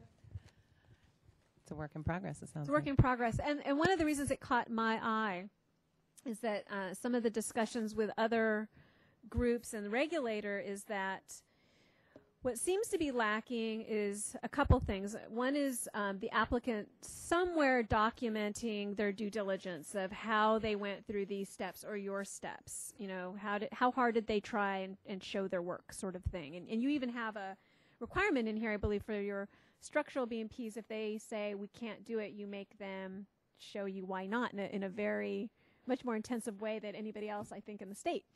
Um, you know, show us why you can't do it. Um, but one thing that's missing is an ability to document in a really easy location what some people call the performance warranty for the BMPs that would come back and say, this project was designed to manage the um, 25 year peak and the 85th percentile or one inch storm event. And what did you put in place? What designs did you put in place? And you know, are you're, you're basically asking for a warranty that the design is going to function appropriately if designed to the specifications on the plan. But what people also do is then say, what's the pollutant load removal? Like, what are you getting for it? What pollutant load reduction or how much water is getting managed? Because ultimately, over time, you want to take all of those and inventory them together and say, okay, over the course of a year of projects, how much pollutant load reduction are you reducing from going into the ocean or into the creeks? Or you want to be able to go out um, back and inspect some of these sites and say, well, we say it was uh, looks like it was designed to do this, and it doesn't seem to be maintained like it should be, so therefore it's not functioning, and so we need to up the maintenance. So I was really intrigued by the that sheet as a way to get the applicant to understand what they might need to look at, but also to document that they said they were going to do it. Um, so, so work in progress, but I think it's it's an important piece that needs to get in there. Maybe maybe thinking about how it might be modified um, would be useful as part of your internal discussions. But Yeah, I think that was the intent originally. It was more that was developed over six years ago, and as staff turnover has happened, it's always a re- it's a reiteration process and effort that we have to do with, you know, reminding staff that this is something that is a, it's a really useful tool to get the stormwater requirements implemented into each project. So tell me more about. Um, I, here's one thing that I'm. So I'm this objective entity, right? I don't work for the water board. I'm, I'm not a municipality. I'm not an environmental group. So I'm in this great position, right? I, I hear all the all the stuff from all of you. So one of the things I hear about um, your requirements is you've got uh, the hydromod requirements down at 4,000 square feet of new and replaced impervious surface, a pretty a pretty small size for most municipalities that I've worked with, uh, I was saying this to Autumn and Cameron, water quality requirements are generally triggered at something around that size, but you can use those flow throughs. You don't have to try to keep the water on site. You can use a flow through, treat the water, water goes off the site. And it's not until you get to a slightly larger site, maybe 10,000 square feet new and replace impervious surface, is often the applicant required to do the volume, you know, the hydromod control. The argument I've heard is that it's technically unfeasible to manage the quantity of water, uh, try to keep it on site at a 4,000 square foot threshold. So I am curious to ask all of you have you worked on projects that small? And have you required the volume control and have you been successful at it? And, and why or what were the challenges? Start it, mm. Victoria. Um, I've had a couple projects where there was just they had to retain, and what they ended up doing was engineering underground tanks that then discharge at a 25-year event. So it'll it'll actually hold the water on site, and then they can discharge it. And and actually, we have a project coming in now that they're putting in a green roof, and they're going to be capturing water on site and actually watering some of their landscape on site. So it's possible. It's it's you know it just has to be engineered when you have smaller lot sizes, and you ha- the only place really you can do it is underground. So. Mhm. And I've heard orifice sizing is sometimes an issue with that. Maybe that's I don't know. There was there engineer? I can't remember if there are engineers in the room. That the orifice sizing sometimes for small sites makes it really difficult to get a release rate that you know lets you move that water off the site because you can only store much so much in your storage uh, tanks and but yet you don't want it ripping out of the system. So I was kind of curious. So that so that works with underground for you. Are there are there other examples of that small site? Can anyone think of any on hand? Part of today was to bring in your plans. I don't see anyone with a lot of plans to make this useful. Did anyone bring in anything that you wanted to talk about that plans. that uh, I brought in one or two backup because I kind of thought this might happen. But it's a really good opportunity to use Darla's experience and background in how we deal with the challenges, you know, with the sites that are completely built out, lot line to lot line, which is a really common scenario in Santa Barbara, and how we're able to actually meet our numeric criteria, which is, you know, quite complicated. Is anyone in here, has anyone worked on the, at any one point, I know the staff turnover has been quite large on this project, but the 535 East Montecito Street? Portales? Is that how you everyone says it? Portales, am I saying it right? I brought the plan sheet, and if I'm not cutting you short, Darla, Yeah, no. I thought maybe it, I know it was a, it, it is a challenging project to implement stormwater because it has very high groundwater. It's in the lower east side of town, and it's a it's an extensive hardscape project. There's a lot of build out. Tim was reminding me about how we were scratching our heads on how to actually implement the stormwater requirements when we Yeah. initially saw it two or three years ago. Sounds good. 522 Garden. Here, talk t- talk a little bit about that one. What you have in mind? Well, no, I was just going to suggest, I think I still have a copy of their plans, but it's a pretty small site. It's maybe 5,000 square feet. It's mixed use. All of it's um, paved and improved.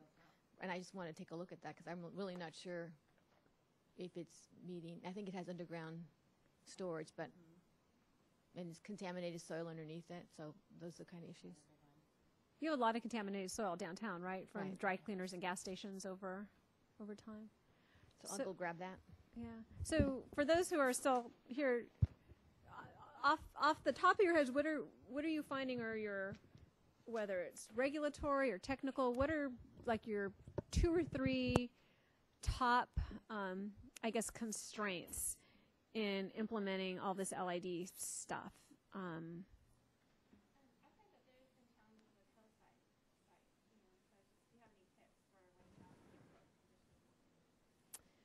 Hillside is the big hillside.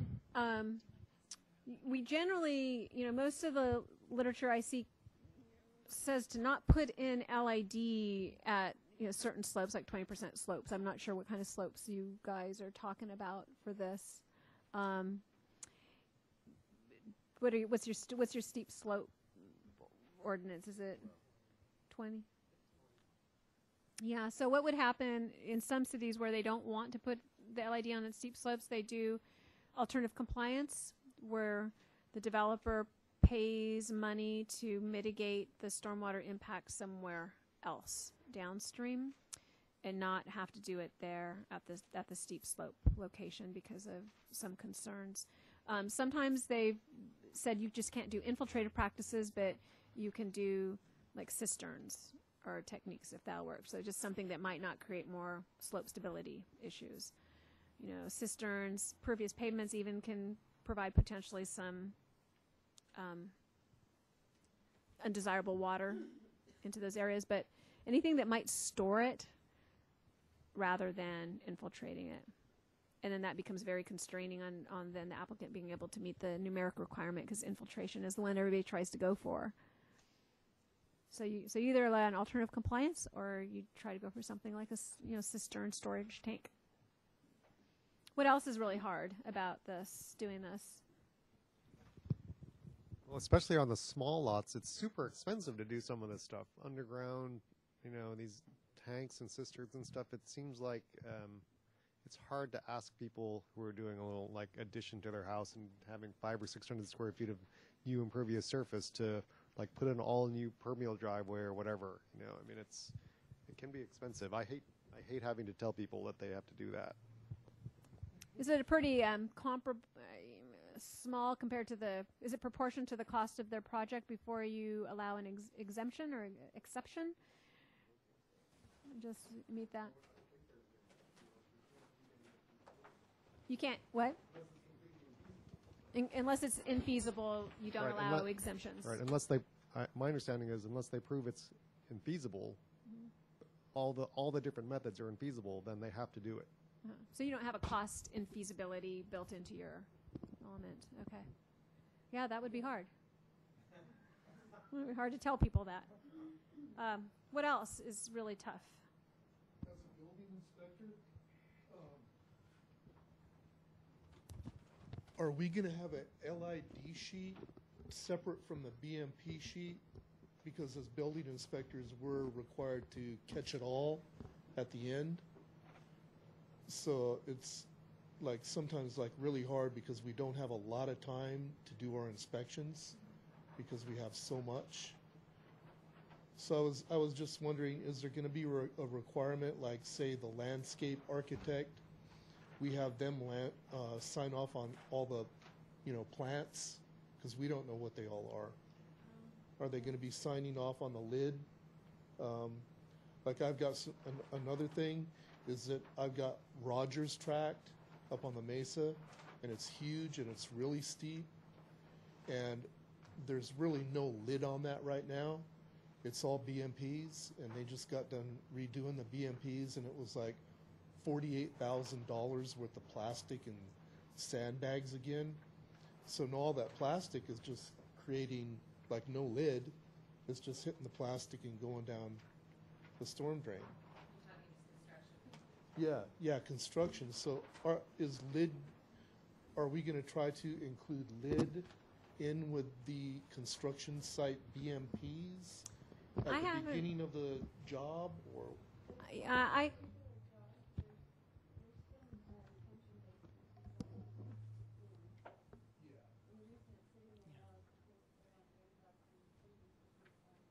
Yeah.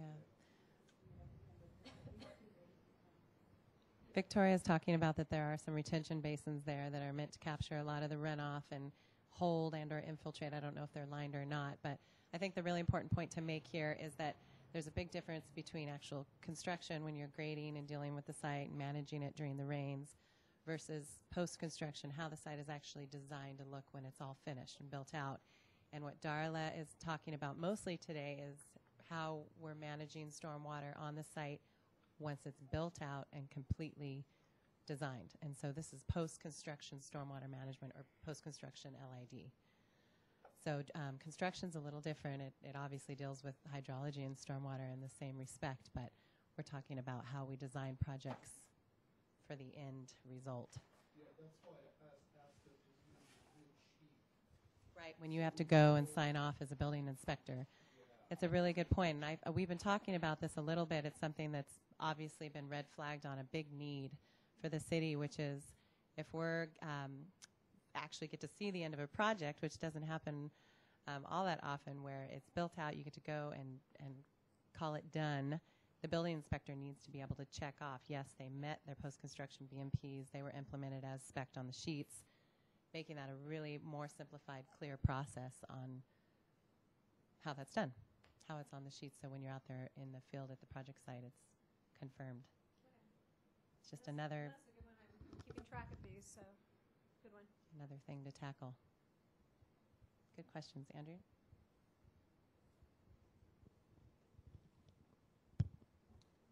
Um, I work at the airport, and I have two very common uh, constraints for implementation. And uh, one is the uh, FAA advisory circular that discourages detention basins because of the bird strike hazard that they present. And the other is that we're, you know, basically on filled slough for most of the uh, of the site, and we have an incredibly high water table, and we're in the floodplain, and so again, you know, conveyance is preferred over over uh, detention, and infiltration just doesn't occur at that low elevation. So those seem to be the two. I mean, you know, the one thing that we can do easily is retain on site because everything's coming there anyway, but that's discouraged by uh, federal regulation. I asked the airport question. So somebody wasn't going to ask the airport question. Because of because of all those different requirements, it does make implementing LID incredibly challenging. Um, yeah, the waterfowl, birds coming in, um, just you know, safety. About I mean, the water issue in general is just big there. Um, I was in. I flew into Fort Worth a couple years back, and they actually had bioswales going around um, where they put in a lot. They really highly amended the soil, and they had bioswales going around that picked up some of the water coming off from the runways because they want to keep the runways free. Large scale, the you know the type where you're doing huge peak management, they weren't able to achieve that. I, I was asking somebody about it. So sometimes, depending on the site, if you've got if you've got that ability to get around there, again going back to the soil, assuming that you're not going to really be able to count much on the um, underlying soil because of the groundwater table or the groundwater level, you can go in and try to design something that's just purely going to function from that system, and it's only going to hold pretty small rain events. So that's why I was asking about exceptions, like you know, gee, we can get the two-year storm managed for water quality and flow, but we can't do the peak because our conditions aren't going to allow that. So it might be a modification. I don't know if you allow modifications to the requirements. Do as do as much as you can, and have to show basically why federal law or otherwise you cannot do the rest. Yeah, that's just So- it. You have an exception. Ah, it's a trick question. You have an exception for airfield operations, but but they do. But I do see. Yeah. tenants. Sorry, we have tenants, we have roadworks, just you know Mhm. anything else that you might find in a light industrial area, but the same restraints apply. Um, and our our exemption specific in, in the SWMP pertains to airfield operations, taxiways, runways, that sort of thing. hmm Yeah, it becomes a t- uh, it becomes a difficulty of being able to meet uh, the reg- in conversations with the regulators. They say, well, this is the bar that we want you to meet, and you've got your bar or in your manual your numeric bar.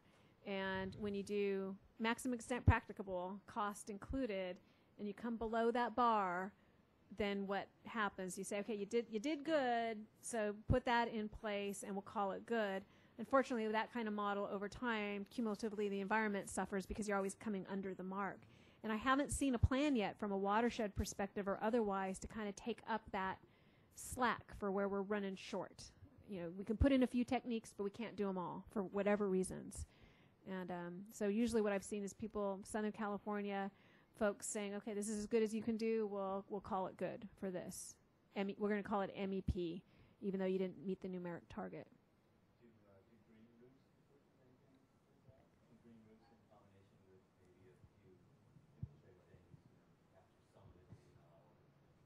I would thought that would Yeah, the attract comment birds. is green roofs potentially as a Yeah. solution for airport restraints. And they're back to cisterns again. The H, the whole HVAC thing with cisterns.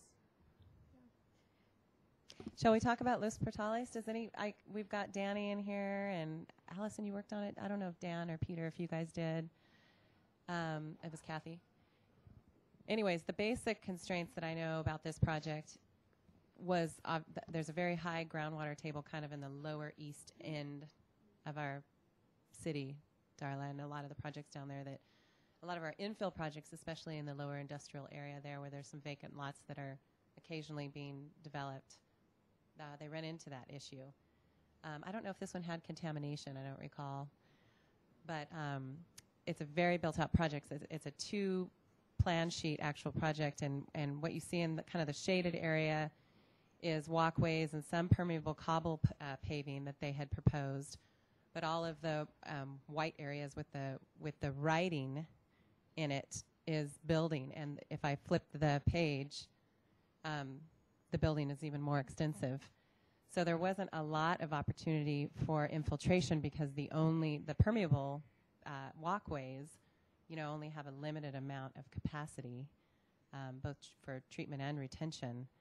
Um, anyway, if those were the main challenges. Can anyone add to what I'm saying? Right. It was a, yeah. It was kind of a, it was a vacant lot, but it was very um, degraded. I thought there was part asphalt and then a lot of just kind of bare scrape. Yeah. Anyway, so I just kind of want, I liked the point that you initially made on how, you know, spreading out more shallow LID concepts and this kind of kind of design is really one of your only options other than going underground, but then the high groundwater sort of negates that option. I don't know. Just thoughts. Well, I'm I'm gonna ask all of you back out. What other options do you think there could be or could have been for this site that caught maybe from least cost up the up the chain? They really didn't have much choice. They ended up raising the site. You know, because it was like, it, it just floods down there all the time. So they, in this particular area of town, there really wasn't anything they could do. And as, I think as far as putting like cisterns on the surface, our ABR probably wouldn't like those. And so at least with the underground tanks, you don't see them, you can, you know, plant over them, you can discharge at a certain rate. But I really don't see that they had any other option than to do what they did, which was, a, actually, they were gonna have underground storage tanks. They raised the site, and now they're, um, actually gonna connect to the city storm drain. What was the depth of the groundwater? It was like three feet. It was three feet. Yeah, it was right there. So Cameron just mentioned, uh, and it's one that's used sometimes in uh, sites that are lot line to lot line and like a little bit commercial is, is are the planter boxes. And I didn't have any pictures in my presentation of that. I may have thinned it out, but particularly to pick up and try to at least slow down the roof water runoff. And you got the aesthetic going. Um, you get a little bit of the filtration through the soil. So it's un- unlike the Filterra units that move the water through pretty quickly. The planter boxes are, are generally it's just like taking that vault concept but just bringing it up and truly into a planter box and having a series of those that run through so that you're cumulatively managing a volume of water. Like in particular maybe you are trying to just deal with the roof runoff and feel that you've made good progress because you've dealt with the roof runoff. Um, there are a lot of planter box design specifications out there. You have them in your book and i don't know if that would have been a good Oh, sorry. I don't, I don't know if that would have been good for this site, the planter boxes. Thoughts? No, because the groundwater table is so high. It, Like, where's it gonna go? they're above ground and the water ends up going back into the regular stormwater infrastructure. You're not allowing it to infiltrate. So it slows, it lags the water down. I Um, think they do have some landscape features that are gonna take, you know, part of it into account, but not a lot. Pass that around. Let's pass the microphone going to whoever the microphone, the microphone going around to whoever's gonna speak or whoever's gonna comment. So Just gonna what talk from exactly here. did they do? They ended up putting a storm drain in. They raised the site, like by several feet, because, and then they ended up connecting to the city storm drain. After it goes through some of these permeable paving designs, and so the water treatment requirement. That's that's kind of the main BMP on this one, yeah. And I something that I'm starting to um, encourage for applicants for on these commercial projects is the planter box design because if you have enough of them adjacent to the buildings on all sides and all ends and they're deep enough, you can actually get quite a bit of your retention and water quality requirements met. Um, but other than going to the roof or underneath, you know, that's really kind of one of the main options. Go ahead. Can you pass the microphone back, Tim? Thanks. One of the problems with planter boxes immediately adjacent footings is that soils engineers get very upset when you put ex- uh, That's right. water and expansive soils, which which affects the footings of the building. Yeah. And the first thing in the code is very specific that all water shall drain away from a building five feet minimum, and you're not supposed to, you know, saturate the soils. Mm-hmm. So this works against putting planters.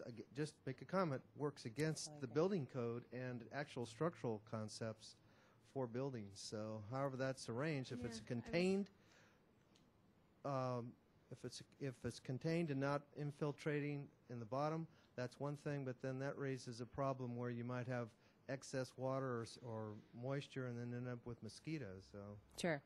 So Yeah, I one know. thing It, to- it take no. It just I think takes some one really thing to specific keep in design. mind, the, plant, the planter box design, um, uh, the issue that you're bringing up is very valid for like that down. I showed a downspout disconnect that uh, down disconnected pretty closely to the building, and there are three, five foot, depending on who you talk to, um, informal standards of keeping that away from the building because of the building footings. The planter box style is actually, unless you knew better, it is a planter box that's above ground, like yay, yay, big, with a tree or shrub or whatever in it, and water is directed to that planter box, and they are connected to other planter boxes. So it's not um, infiltrating or uh, necessarily abutting the building foundation. So you don't you don't have those same kind of issues with the planter box design. You also don't get you get less of the infiltrative capacity, but if you can't do infiltration, as I'm as I'm hearing, um, it's sort of like your second row down type of technique. So planter boxes in general don't don't cause that kind of structural, but you do need to take that into account for downspout disconnects and bioretention swales that are too close to a building because of the structural integrity of the building. Darla, um, my question is, uh, so right as the, as the site stands now, there it's very little impervious surface. Depth to groundwater is three feet. So your typical one-inch storm is going to be all 100% infiltrated, and and you have the opportunity to infiltrate a lot of it. Um, in other municipalities, is it ever? Uh, do they ever come back to the applicant and say, uh, you know, you're looking to build this site completely out. You know, maybe this just isn't feasible to build um, this large of a complex on this site, you know, and where you know you're making it impossible to actually capture all this, all of this stormwater, um, because it is, it's it's doable. It's happening. You know, the pre-existing conditions is that it is being infiltrated, um, in spite of the high ground, you know, Yeah. high relatively high groundwater. It's how much do you cover that site with and constrain the ability for that process to, to occur. Um, nobody's really going down that line because that comes to the issue of economic vitality and the stormwater requirements. The only city that I've seen in, in our region, you know, Santa Cruz de Carpinteria, that started to take that on a bit more is the city of Salinas. Uh, you go into their development standards and they have examples of different scenarios all the way from lot line to lot line to different sort of proportions and at what proportion does there seem to be a balance between having the big old building and having enough room to get the infiltration but i don't know how successful they've been politically in doing that So I just wanted to say one more thing in response, you know, to Chris's comment about building code and that, you know, one option people have is to build their foundation for saturated conditions. And the reason they don't want to do that is because it's way more expensive. Mm-hmm. But that is an option. Mm-hmm. Correct? That's what I've been told. It's an expensive proposition, but it's a possibility to, to build for saturated conditions. As is, what about if you ap- if you do have to put the planter boxes adjacent to the buildings because of space mm-hmm. issues, space constraints, um, waterproofing the planter boxes is an option also, correct? So you can't have planter boxes. Again it's all i mean really it is just that design of just it's open on i mean there's like a planter box. It's going to be it can be sealed on the bottom and sides. Um, there's a good example and to try to make this presentation shorter i took it out. Salinas has on one of their big box stores a bioretention planter box that's on the back of like a Kohl's or something like that, and it, um, you know, here's the building loading zone, they built up was um, kind of a concrete or brick structure, comes out yay far, goes down the length until there's the loading dock, and it comes around, and the roof water comes down and goes into that, and basically builds up and hold that, holds that water to planting box. But it's sealed all the way around and at the bottom. So no, no infiltration is allowed, nothing that's going to mess with the structural integrity of the building. But I love the example because they actually fitting it, fit it into where there is a loading dock. And so they fit it into a very high use, heavy trafficked area.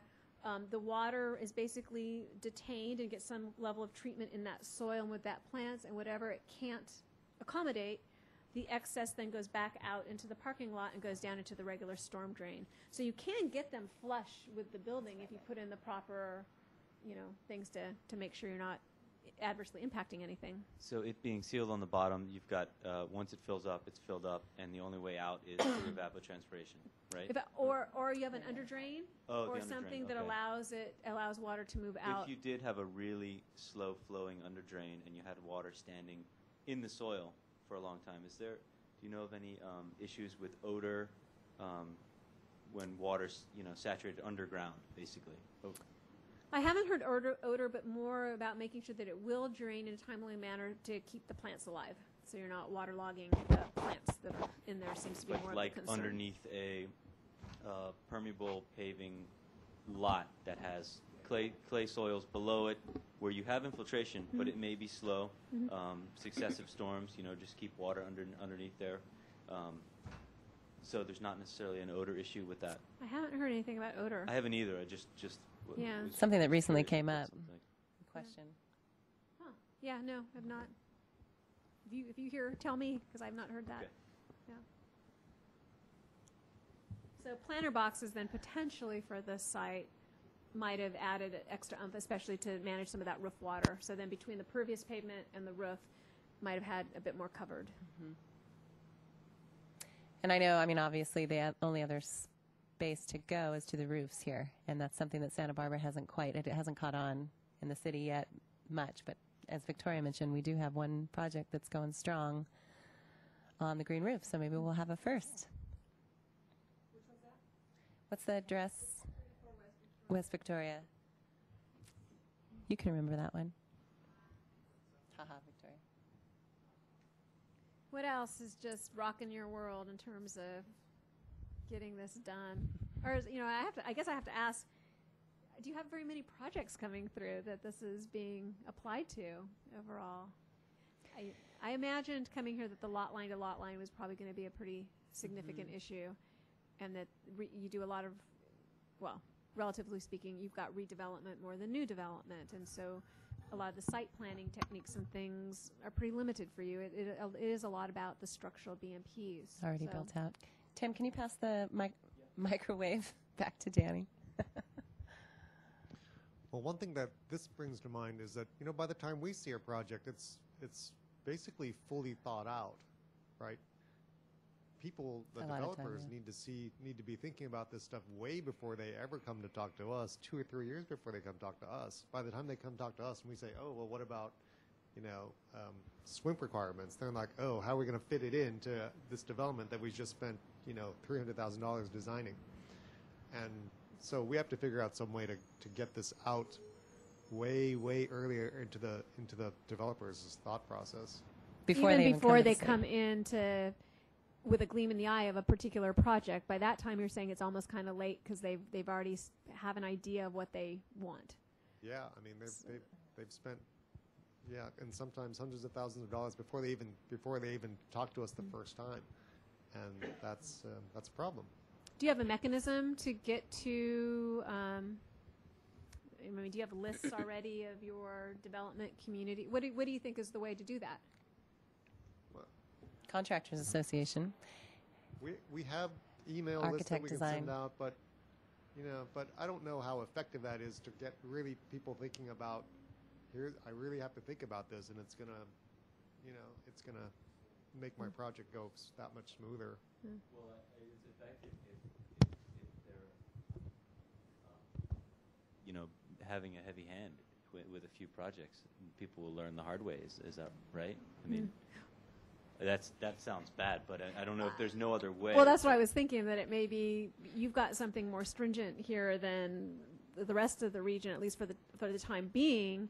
I can imagine, and am sure that the development community knows that. So they know, I would think that they know coming in, or they're learning to know when they come in, that they need to, need to be thinking about this.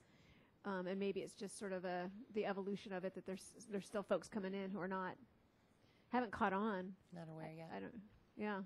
It is, but I do hear that comment a lot. How to, how to get to those folks even before they come in to talk with you. Outreach effort. One of the only solutions.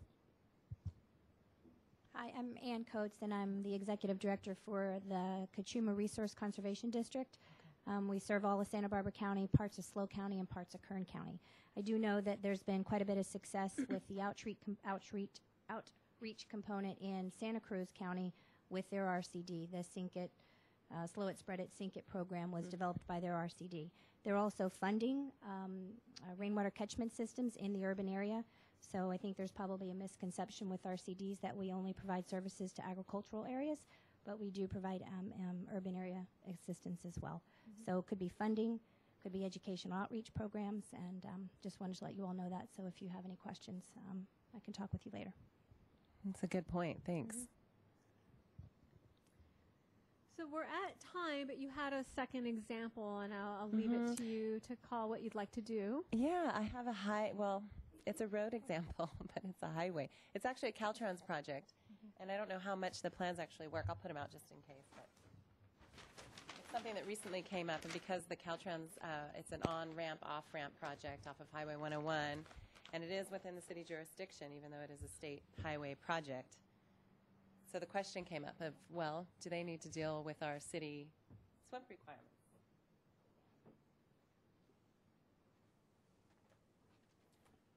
So I called the regional board and talked to several staff, and the general consensus was yes. You know, technically, a state agency needs to comply with the more stringent regulation of whatever jurisdiction they're in. Um,